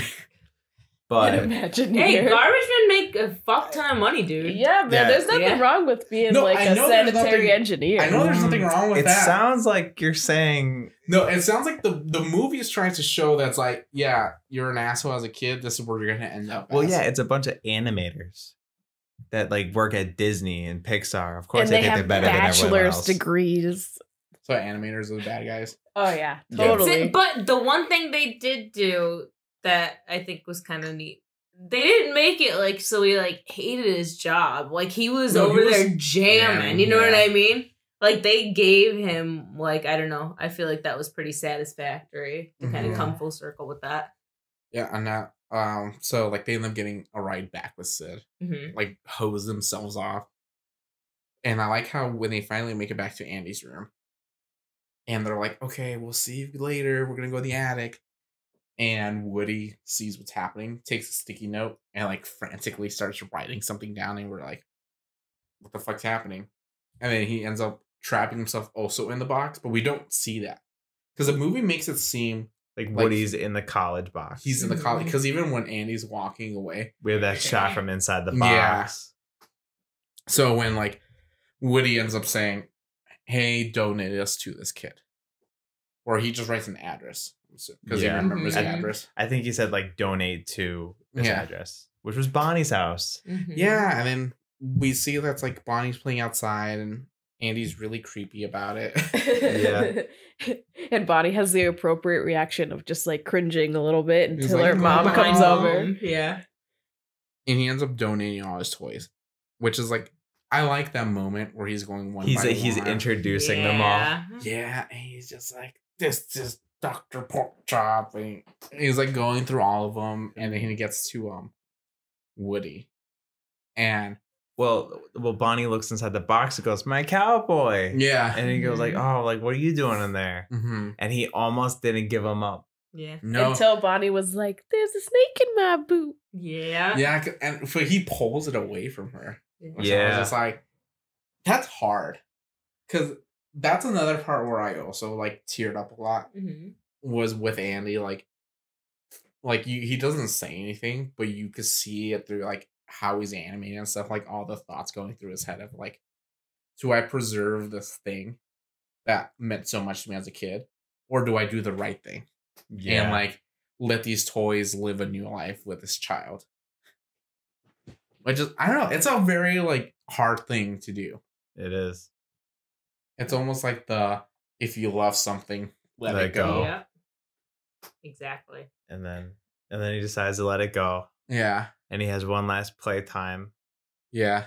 which is funny, but I don't think it's that creepy hmm I don't know. because I have seen that so many times in my life Yeah. where like someone's like, "Oh, these are my old toys." Mhm. and then like they play with the kid and then they you know they leave you know or Mhm. whatever or like so like i've seen that happen well before this movie even came out I think it, I think it was just I- creepy because the way just- he he he, entered because yeah. he just kind of stood there and bonnie like mom because it's made it, it also makes it seem like Bonnie is also creeped out by this dude. Yeah. And like Bonnie's never met this kid. yeah So it's like all of a sudden like this kid's hanging out with you for two hours in this one afternoon. I do like how lovingly they set down all the characters though when he was introducing them because I don't know the way like Jessie was laid on bullseye. They and, group them together. It was really really nice. So at that part is where I was like full on crying at the Mhm. end of the movie. And I was like, who am I crying for? Am I crying for Andy or for the toys? Or your dead childhood. Or yeah, and I was just like, and I think I was like, I was like, I think I'm crying for myself Yeah. Because I'm just like crying for like the thought of like, oh my god, nothing's gonna last forever. I'm not gonna last forever, and like you also contemplating like your own existence of like what's gonna happen and like the unknown, and it's like, and like the acceptance finally is like what happens at the end of the movie. It's like all of this from like the other two Toy Stories, and then this one, everything that happens to everyone else. It's like just like how accepting everything is and like how Andy is like it's almost like when you lose someone and like you like remember all the fun things, but it's like it's time for you to move on. Yeah. That's it. I was like, that hit like the hardest. It really did. Like no, like this whole like how we said it, like it's like acceptance. Like you have to mm-hmm. like dab uh, with these toys Yeah. during all three movies. And it's like that's why it's like it it stinks that they made a fourth one. Yeah. Because like it was such a good ending. It was such a bittersweet, double-edged sword Mm. ending. Because they all got what they needed. hmm Andy grew up like every single person has to Mhm. do, you know? Like you can't just be a kid forever. But Mhm. you can still hold on to the things that like you had as a kid and stuff. And then, you know, you kind of let the next generation take over.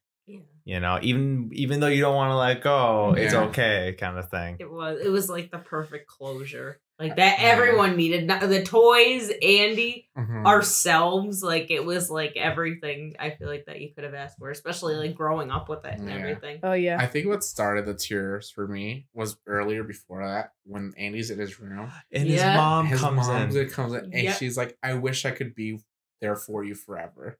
yeah And Yeah. it's like he's she's saying that, but like Woody's also hearing this, and he's like, if the mom can't be there for you forever, how could I possibly do that? Exactly. And it was just like, No. it's like the Yeah. single mom that has struggled her whole life. hmm I know, like being, you know, in the midst of a incinerator is super um I don't know, existential, but then I guess the comforting thing is just like uh say um say uh sorry. What? Legacy. Having a legacy is more comforting than just being like, "Oh, yep, disposed of, you know, gone, nothing's left." At least you Yeah. get the ending of like a legacy and like something's going on and being preserved and I do like that how it does kind of imply that's like even though you will like be gone, it's like what you leave behind and how you impact others. Yeah. Yeah, because like it's just like it's like what will you leave behind? Mm-hmm. hmm You know, will you like do you ha- do you still have toys to Mm-hmm. hand down to like your kids and stuff like that and all Yeah. that shit? Because like when you move, like you kind of downsize a little bit. Like what don't I need to bring? Yeah. and like you might leave stuff behind that like you could have gave to someone else but like hopefully you did the right thing to you at least you know like, Yeah. you did right by the things that you had You know what was sad is like the realization that Woody has been a family toy and he's been in the family for like generations, but now he's not going to be in the family. So like Yeah. also like that part of me is also like would I want to keep Woody to give to my kids? Yeah, Mhm. Andy could if he had if he became a father one day, he could have just given it to his future yeah, kid. but it's also different, right? Because it's like it will, it's different times now for Mhm. Andy. Like Yeah. things are like things don't happen as fast. Because like probably when like Andy's father had him as a baby, like he still had a lot of his personal possessions. Because like I feel like people had kids earlier and like they got married a lot earlier, but like Andy is still like going through this like major points in his life. So like it'd be a long time before woody made it to andy's kids yeah, might be like another 10 years and then kids Yeah. all have their dang phones. And they don't care about to about s- toys. Yeah. exactly like Yeah. kids don't play with toys that much anymore like I All they know. care about their baby shark doo doo doo doo doo doos. That's right. Mm. N- n- it is cool because like you do see like 'cause, like there's some kids like that I see like like Nadia's cousin still plays with toys, you know, and has like a pretty strong imagination and stuff. And then like it's cool because I was like, oh man, like I remember being that age and stuff like that. But like I, I always hear about like kids not having that nowadays, Mhm. you know, Yeah. where it's just playing video games Being an iPad kid. and being stuck on an iPad. I shit. couldn't imagine that. Like I, I feel like I had a nice amount of toys and I had like a lot of imaginary stories. Yeah. I'd make Yeah. my Barbies like the totally spies. That's right. Exactly. it was fun. Yeah. Yeah, and I do like how at the end of the movie, instead of just going for like the gag reel, like Toy Story 2, instead it progresses the story Yeah. and it shows you like everything wrapping up at the end with um Randy Newman's song, right? Yeah. What's the oh, the one at the end. it's um We Belong Together. Yeah. Oh.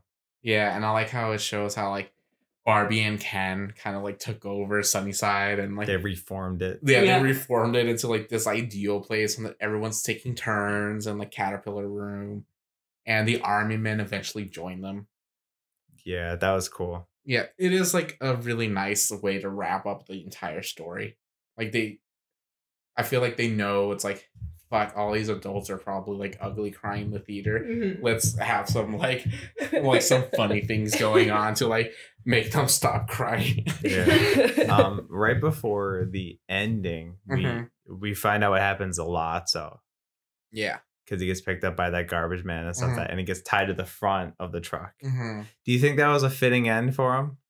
Like, there's probably he's probably stuck there forever, yeah or at least a long time.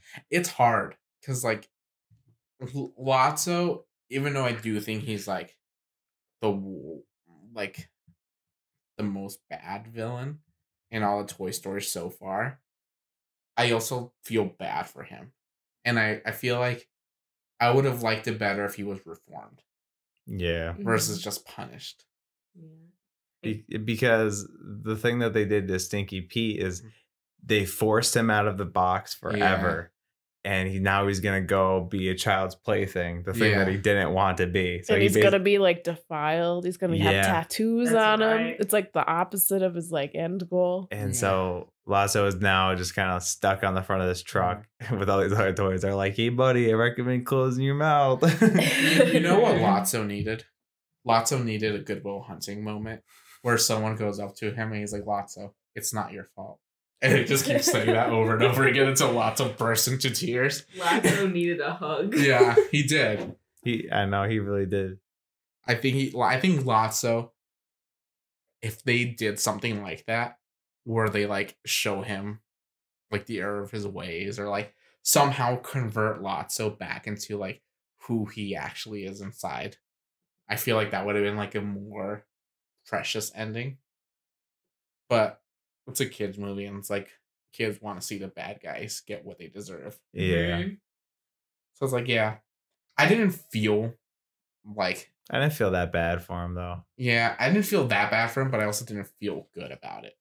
And Yeah. well, like all he had to do to save Woody and the gang was just press the button, and he couldn't even do that. And he could have just right, but he wanted it all for himself. I know That's, he like the ran end. the risk of them maybe going back to the daycare and Mhm. like telling them the error of their ways. Well, like the thing is though, like they exposed Lotso in front of his crew. yeah, so his crew already Because like the moment Big Baby threw him in the dumpster, the rest of them didn't do anything. Yeah. So like he knew there was no going back. So he was like. "Fuck these toys! You ruined my good thing. I'm gonna ruin your life." Yeah. Lotso also didn't get a moment like Stinky Pete where Woody offered Stinky Pete a home. He's like, come with us. Lotso didn't get anything. Mhm. Like up until the very end, he was still like the bad guy and like no one was really on his side. Yeah, The only reason he had friends was of fear. yeah. And then like the only thing that Woody offered him was basically at the end, like like not even near Lotso. He was like, Mhm. "All right, don't bother with him. Yeah. Mhm. Like leave him alone. Let him do his own devices." Yeah. Are there any other uh, points you guys wanted to hit on this movie? I think we think that's everything I want to talk about. Yeah, me too. I actually had one question for you guys because we kind of like mentioned it in uh, the previous podcast about Toy Story 2. But do you guys think you could see Toy Story 3 without seeing Toy Story 2? Yeah. I Because of that montage in the beginning. You know, yeah, I guess you're right because you kind of got the background of Hmm. these guys anyway. So like, yeah, you didn't necessarily need like Jessie and Yeah. Bullseye's like backstory to kind of continue forward with this one because it was like- more about like the overall whole of like everybody. It wasn't just about certain like specific toys. No, I was thinking about it when I was watching like almost the whole movie. Mostly in the beginning. I'm like, would it make sense the transition? I'm like, well, yeah, they're in the playtime. Mm-hmm. So it kind of just like organically gets brought up there. You know, kids get new toys. Mm-hmm. So it wouldn't be like that weird. Yeah, I think it's just like if you went from one to three, the only thing you'd be like is just missing like the context of where the hell did like Jessie and Jessie Bullseye. and the bull, Bullseye like come into play. So yeah. like so like not saying two is needed, just that's the only thing you kind of miss is just like how they got introduced really. yeah. Besides that, I guess like you miss kind of like the idea of like what Stinky Pete wanted. And that's Yeah. basically it. So yeah, I don't think you needed to watch two. Mm-hmm. no. But yeah, if you went from one to three, that's the only thing you're missing, which really is not like much. yeah. yeah. And I guess it could even be like a standalone movie. Like I'm not saying you should do this, but I'm like I guess you could watch 3 by itself. It might not have as much like weight in your heart. Yeah, I'd say But- it, it, it hits hard because of what you grew up with. If you grew up Yeah. with one and Mhm. two or just one. Yeah. Yeah, I, I am curious if you show this to someone very young and them not having grown up with them and you just show them the movies, if it would be that impactful. Yeah. Mm-hmm. Or if you show a kid the Toy Story series who doesn't play with toys. Yeah. Oh. I don't know though. Sometimes I get nostalgia for stuff I've never experienced. Yeah, I Okay. agree with that. Yeah, I guess as long as it has like that impact. Yeah. Mhm. Cool. Well, that was basically Toy Story 3. Let's take a break and then we'll get back to our final thoughts and trivia.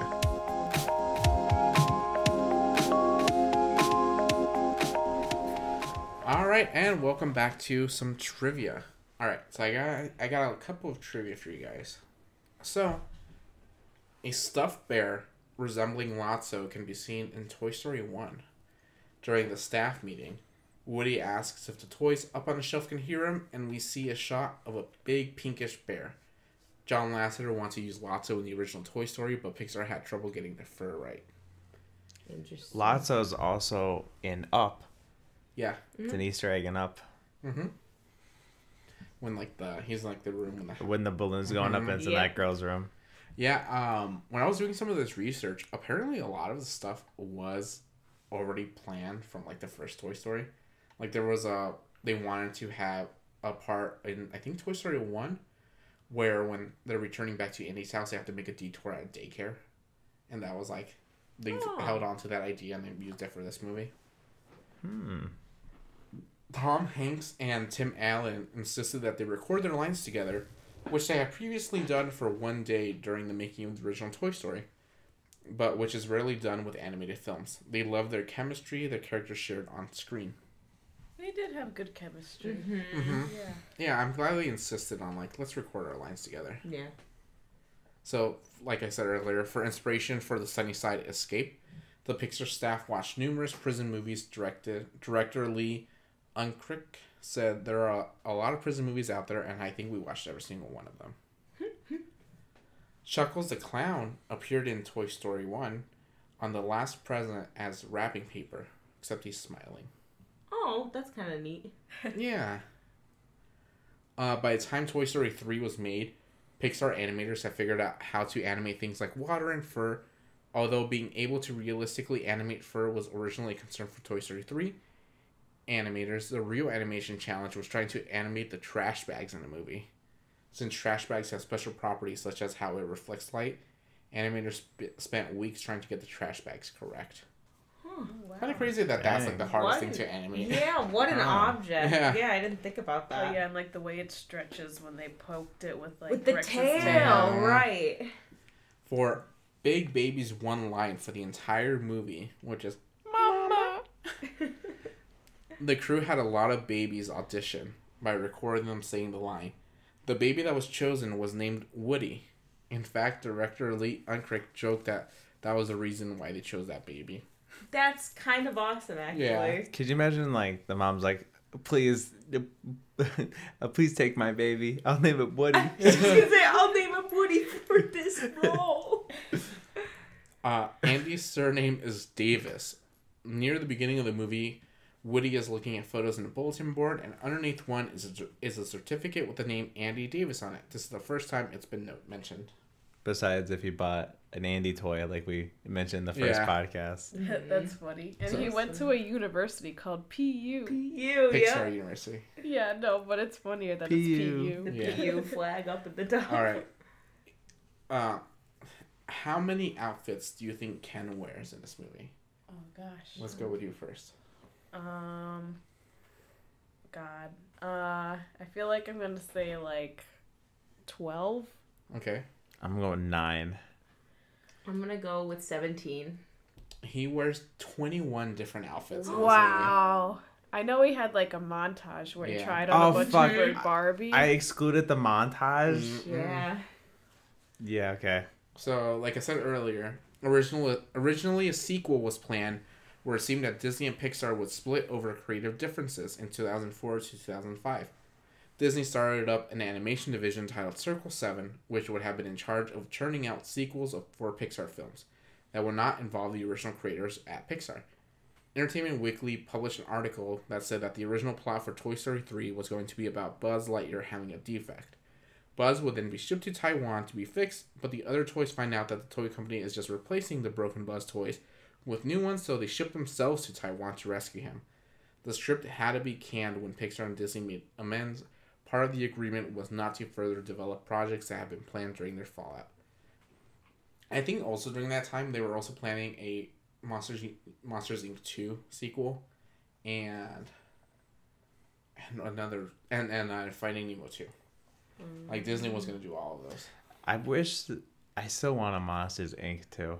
Yeah. I know we got the prequel, but I want the I, I want a sequel so bad. I feel like it's it's coming up to be too late though, Mm-hmm. and they should just leave it. Yeah. So John Morris, who'd voiced young Andy in Toy Story and Toy Story 2, voices the now older Andy in Toy Story 3. Since nobody at Pixar had spoken to him since he was a child, they weren't sure if his voice would still be suitable for voice acting. They called him up and got his answering machine the first time. Just from hearing his voice on the machine, they knew that they had to have him play Andy again.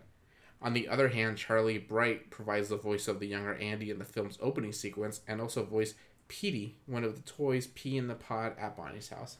Oh. Got a couple more trivia for you guys.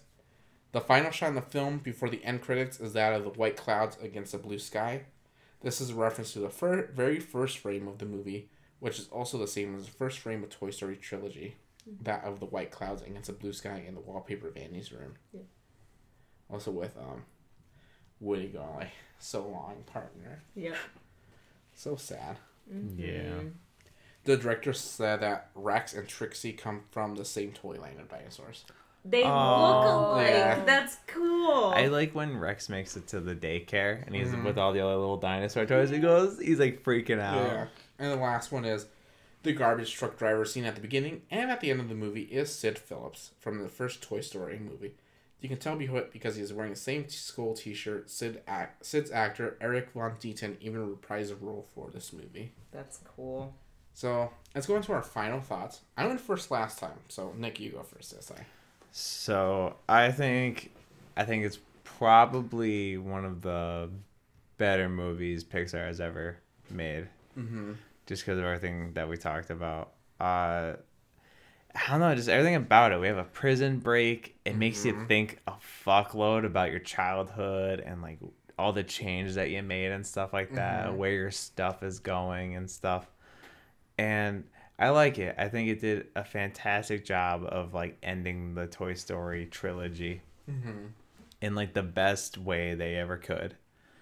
And I think after watching it this time, I think I'm gonna actually say I think I like it more than Toy Story 2 now. So would you lower Toy Story 2's rating to make this one higher? No, I would just make this one 11 out of 10. Cool. I, I will still hold on to how much I love Toy Story 2. It's Mhm. like the, how like how I said, it's the child I'll never Mhm. be able to do wrong. But 3 I know is ultimately better. Like I enjoyed myself way more watching it this Mhm. time. And I don't know. I, I think it's a just a better movie. mm-hmm. So 11 out of 10. Cool. All right, Nadia. Yeah, so I have to agree. I think I ended up liking this one more than I did two. And so like with Toy Story 2, it made you like I feel like nostalgia was what also made it like, oh, like I remember like losing like a toy and like kind of being upset over that and growing and we all grow up and everything like that, but like this is like this movie was made for the people that grew Mhm. up like with this franchise and everything and the attachment to all these toys and like the idea of like letting them go and kind of I don't know. It's just it it does it traps you so deep in thought and I I just think that it's ultimately so much better Mm-hmm. than Toy Story 2. So yeah, Toy Story 2 I think I rated a 9 last time. This gets a 10 for me. Yeah. I watched it only once before, but I would watch this again so many times. Hmm. What about you, Mia? Oh, I I noticed with this movie, I was laughing a lot more than I did with the other Toy Story movies. But I also felt more like deeper feelings, you know, thinking about like disposability of things, mm-hmm. you know, brevity of life, all that jazz. And um, I do like it more than Toy Story 2 and Toy Story 1. Um, I think it, it takes a little too much out of me for me to watch it over and over again. I would definitely watch it again. Um, but I'm gonna give it. I'm gonna give it a nine point five. For that reason, is that it, it's too much. Like it's too much on my heart to watch it many many times. Mm-hmm. Cool. All right. Well, I will say I really like Toy Story 3. I think Toy Story 3 is my favorite Toy Story movie of all time. And rewatching it again, it definitely takes up like in my top 5 Pixar movies. Whereas as before I didn't have any Toy Story movie and I'm like I think Toy Story 3 might be like a solid like second or third place now. I could definitely see that. Yeah, it, it's kind of weird because it's like I almost think Toy Story three is like almost a perfect movie for me. Mm-hmm. I think it hits all the points. It flows so well to the point where I'm like, oh my god, the movie is almost over. Because like it doesn't take much breaks at all. Like No. the plot keeps going. Like once it starts, it doesn't stop really. It doesn't have a lot of like the lulling moments of Toy Story one and Toy Story two. Whereas like I feel like here, even when they come back at Bonnie's place, it just progresses the story. And I feel like it also benefits from not having like musical numbers to kind of like put a stop to everything. Like everything that mm. happens in Toy Story 3 is for a reason. Like everything that happens at Bonnie's house is because it's like it's sh- telling you stuff that you need to know because Woody's heading back to the daycare. Versus like in Toy Story 2 it's just like extra backstory. Toy Story 3 doesn't give you it gives you some backstory but it's only backstory that you're going to use immediately right now. Yeah, I totally agree with that. I Mhm. think yeah, with like Toy Story 1 and Toy Story 2. I know I said like Toy Story 2 like I'm like hot take it's kind of like an adult movie and it had it covers like adult themes or it covers I more or less like one or two like adult themes. This one like full on like just Mhm. kind of it makes you really like kind of think about everything that happens in life. And yeah, and like Mia was talking about brevity of life and like Yeah. being disposed of and just it it's so much more complex than like a kids Mhm. movie like it's so that's exactly why we can't watch it over and over and over again like a kids movie you know kids have stuff on repeat constantly Mhm. but that's one it's just it, it hits too many marks to just Yeah. be able to watch it over and over again You know, if someone was like feeling grief or something, and like, I feel like a really good trilogy to show them would be Toy Story 3, Inside Out, and Coco. hmm Ooh, yeah. Like, those three movies, I feel like would be would go really well together because it teaches you about like acceptance. Inside Out teaches you about like how like it personifies your emotions and makes you like realize like oh this is why I feel that way and this is how I feel that way. Mhm. I mean, Coco is like a reassurance of like even though something has gone, it, like life continues in different ways. So I feel like that's like a really good trilogy to show someone who is like having a hard time or like I can see that. Yeah. I I, w- I was just thinking about like those three movies in a row. Like, I liked Inside Out. I guess like it didn't hit me as hard as I Mhm. thought it was going to. But like ending on Coco in that trilogy, I think I would just like start. I'd die. I think I'd just like fall over and just weep way too much. Yeah, like if you start with Inside Out, Toy Story three, and then Co- and finish with Coco, it's like, I feel I feel like it'll be, like any person dealing with anything. I feel like it'll make them feel some like something. Agreed. So Yeah. I, I would give Toy Story three. I would give it a ten out of ten. Yeah. Yeah, I really like it, even though they got rid of Mr. Shark. Nah, I don't know, man. I gotta save my 10 for The Incredibles. I'm sorry. I like this way more than The Incredibles. I- Nah, it's- Incredibles is always gonna be my number one Pixar movie.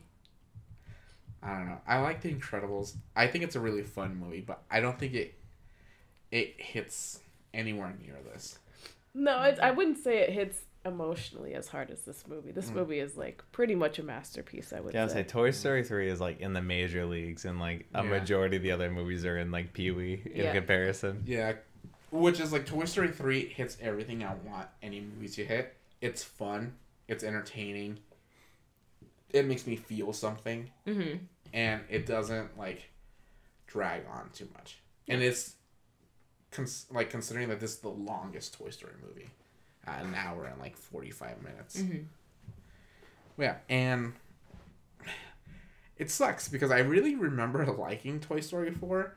So now that we've finished the trilogy, watching Toy Story 4 next week, I don't know if it's gonna like make me dislike the movie because of how much I I'm like going. This one. I'm going in with all my preconceived like feelings gone. I'm I going know. in fresh as possible. That's possible gonna be hard. because the thing is, it's like I remember walking away from four and just kind of being, eh, like it. I didn't need to see that at all. Like it was kind of whatever. But I remember not like hating it in a way where I was bored the whole time. Mm-hmm. Like it entertained me, but I was more or less like, uh, this if if this was like a new property, then cool. Yeah. But like it didn't.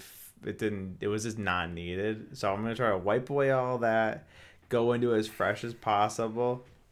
Try to get excited. Maybe like, all right, we're gonna end Toy Story month. You know, out on a bang. You know, Hopefully, I crossing my know. fingers. I, I- you gotta stay hopeful, I'm- damn it. Okay, well here's the thing. I I think I like Toy Story 4 because after Toy Story 3 it was almost 10 years. So it's like almost the same amount of time from Toy Story 2 to Toy Story 3. Toy Story 2 came out in 1999, Toy Story 3 2010. Toy Story 4 came out in 2019. Yeah. So I feel like there was enough distance from me watching Toy Story 3 and then watching Toy Story 4 where I was like, okay, yeah, Toy Story 3 ended really well. I don't remember it that well because it's been a year since I've seen it. So Toy Story 4 didn't like bother me as much. I was like, oh, that was a really fun movie. But now, immediately watching it after this and not having years to like forget about Toy Story yeah, 3, that giant gap. it's gonna be hard not to compare them and like Well, no, almost be upset that but, they ruined but like that's the thing though. Right. Like you're like we're gonna do that. We're gonna be like fuck. Right. Because we got the closure. We got the closure. This was literally just made for a money grab. Yeah. It was like Because I know, I know how you said earlier, like Disney was kind of looking at three as going to be the cash grab, but Pixar was like, "That's our child. We have to end it strong." Mm-hmm. Because um, after four, I guess it's going to be kind of one of those like, after we watch it, did most of the crew from Toy Story three jump on with four? That's something I'm interested to look at after we watch it. Yeah, that's like definitely some research to do. Yeah. Mm-hmm. Because I don't, because after that one, I only watched Toy Story 4 one time. Me too. Mhm. and it does not feel like it's made by the same people. No, I remember wa- like leaving the theater after watching Toy Story 4 and being like pleasantly surprised how much I liked it.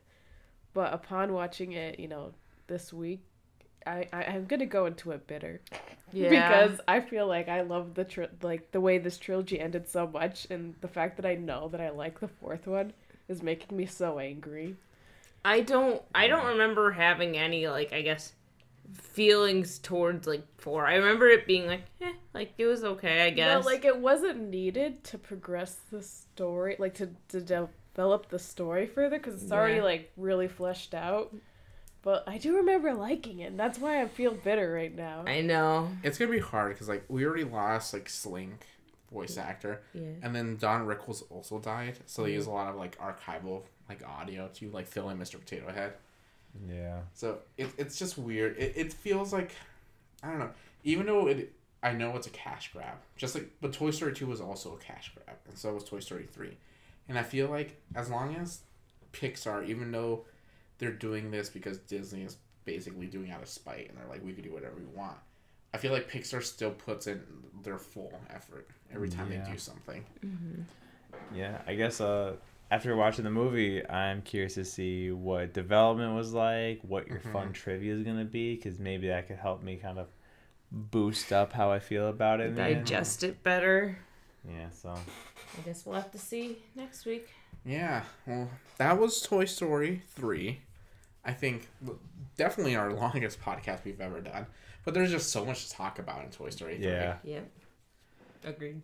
Yeah, so uh, if you like what you heard, please rate and review us wherever you listen to your podcast. Uh, if you want to follow along next week, watch Toy Story 4. Let us know if you also hate it or if you also love it. I'm very curious to like know everyone's different perspective because I feel like when Toy Story 4 came out, it was almost like mob mentality. Everyone was like pitchforks and like flames or like how dare Pixar do this? And, like they how dare they tarnish something that was already great? Mm-hmm. But you know what I liked about um what they did was they released those shorts that we were watching, and I feel like that alleviated a little bit of like the gap between Toy Story three and Toy Story four because we saw like a little bit of adventures that Bonnie and her toys had. Mm-hmm. yeah. We have like two more to watch. Yeah, They're which- like but they're like 20 minutes or whatever. yeah, but it's like a Halloween special and a Christmas special. yeah, I know. I wouldn't have hated. It wouldn't be necessary, but I wouldn't have hated a movie that was like what life was like with Bonnie as their like owner. Mm-hmm. But I at the same time, it's not necessary. But neither was Toy Story four. So I'm like, Here ah, we are. I know. Yeah, but thanks for listening, everyone. Um, as always, I'm your host Ish. and I'm Nick. I'm Nadia. And I'm Mia. All right, see you guys next week. Bye. Peace out. Bye.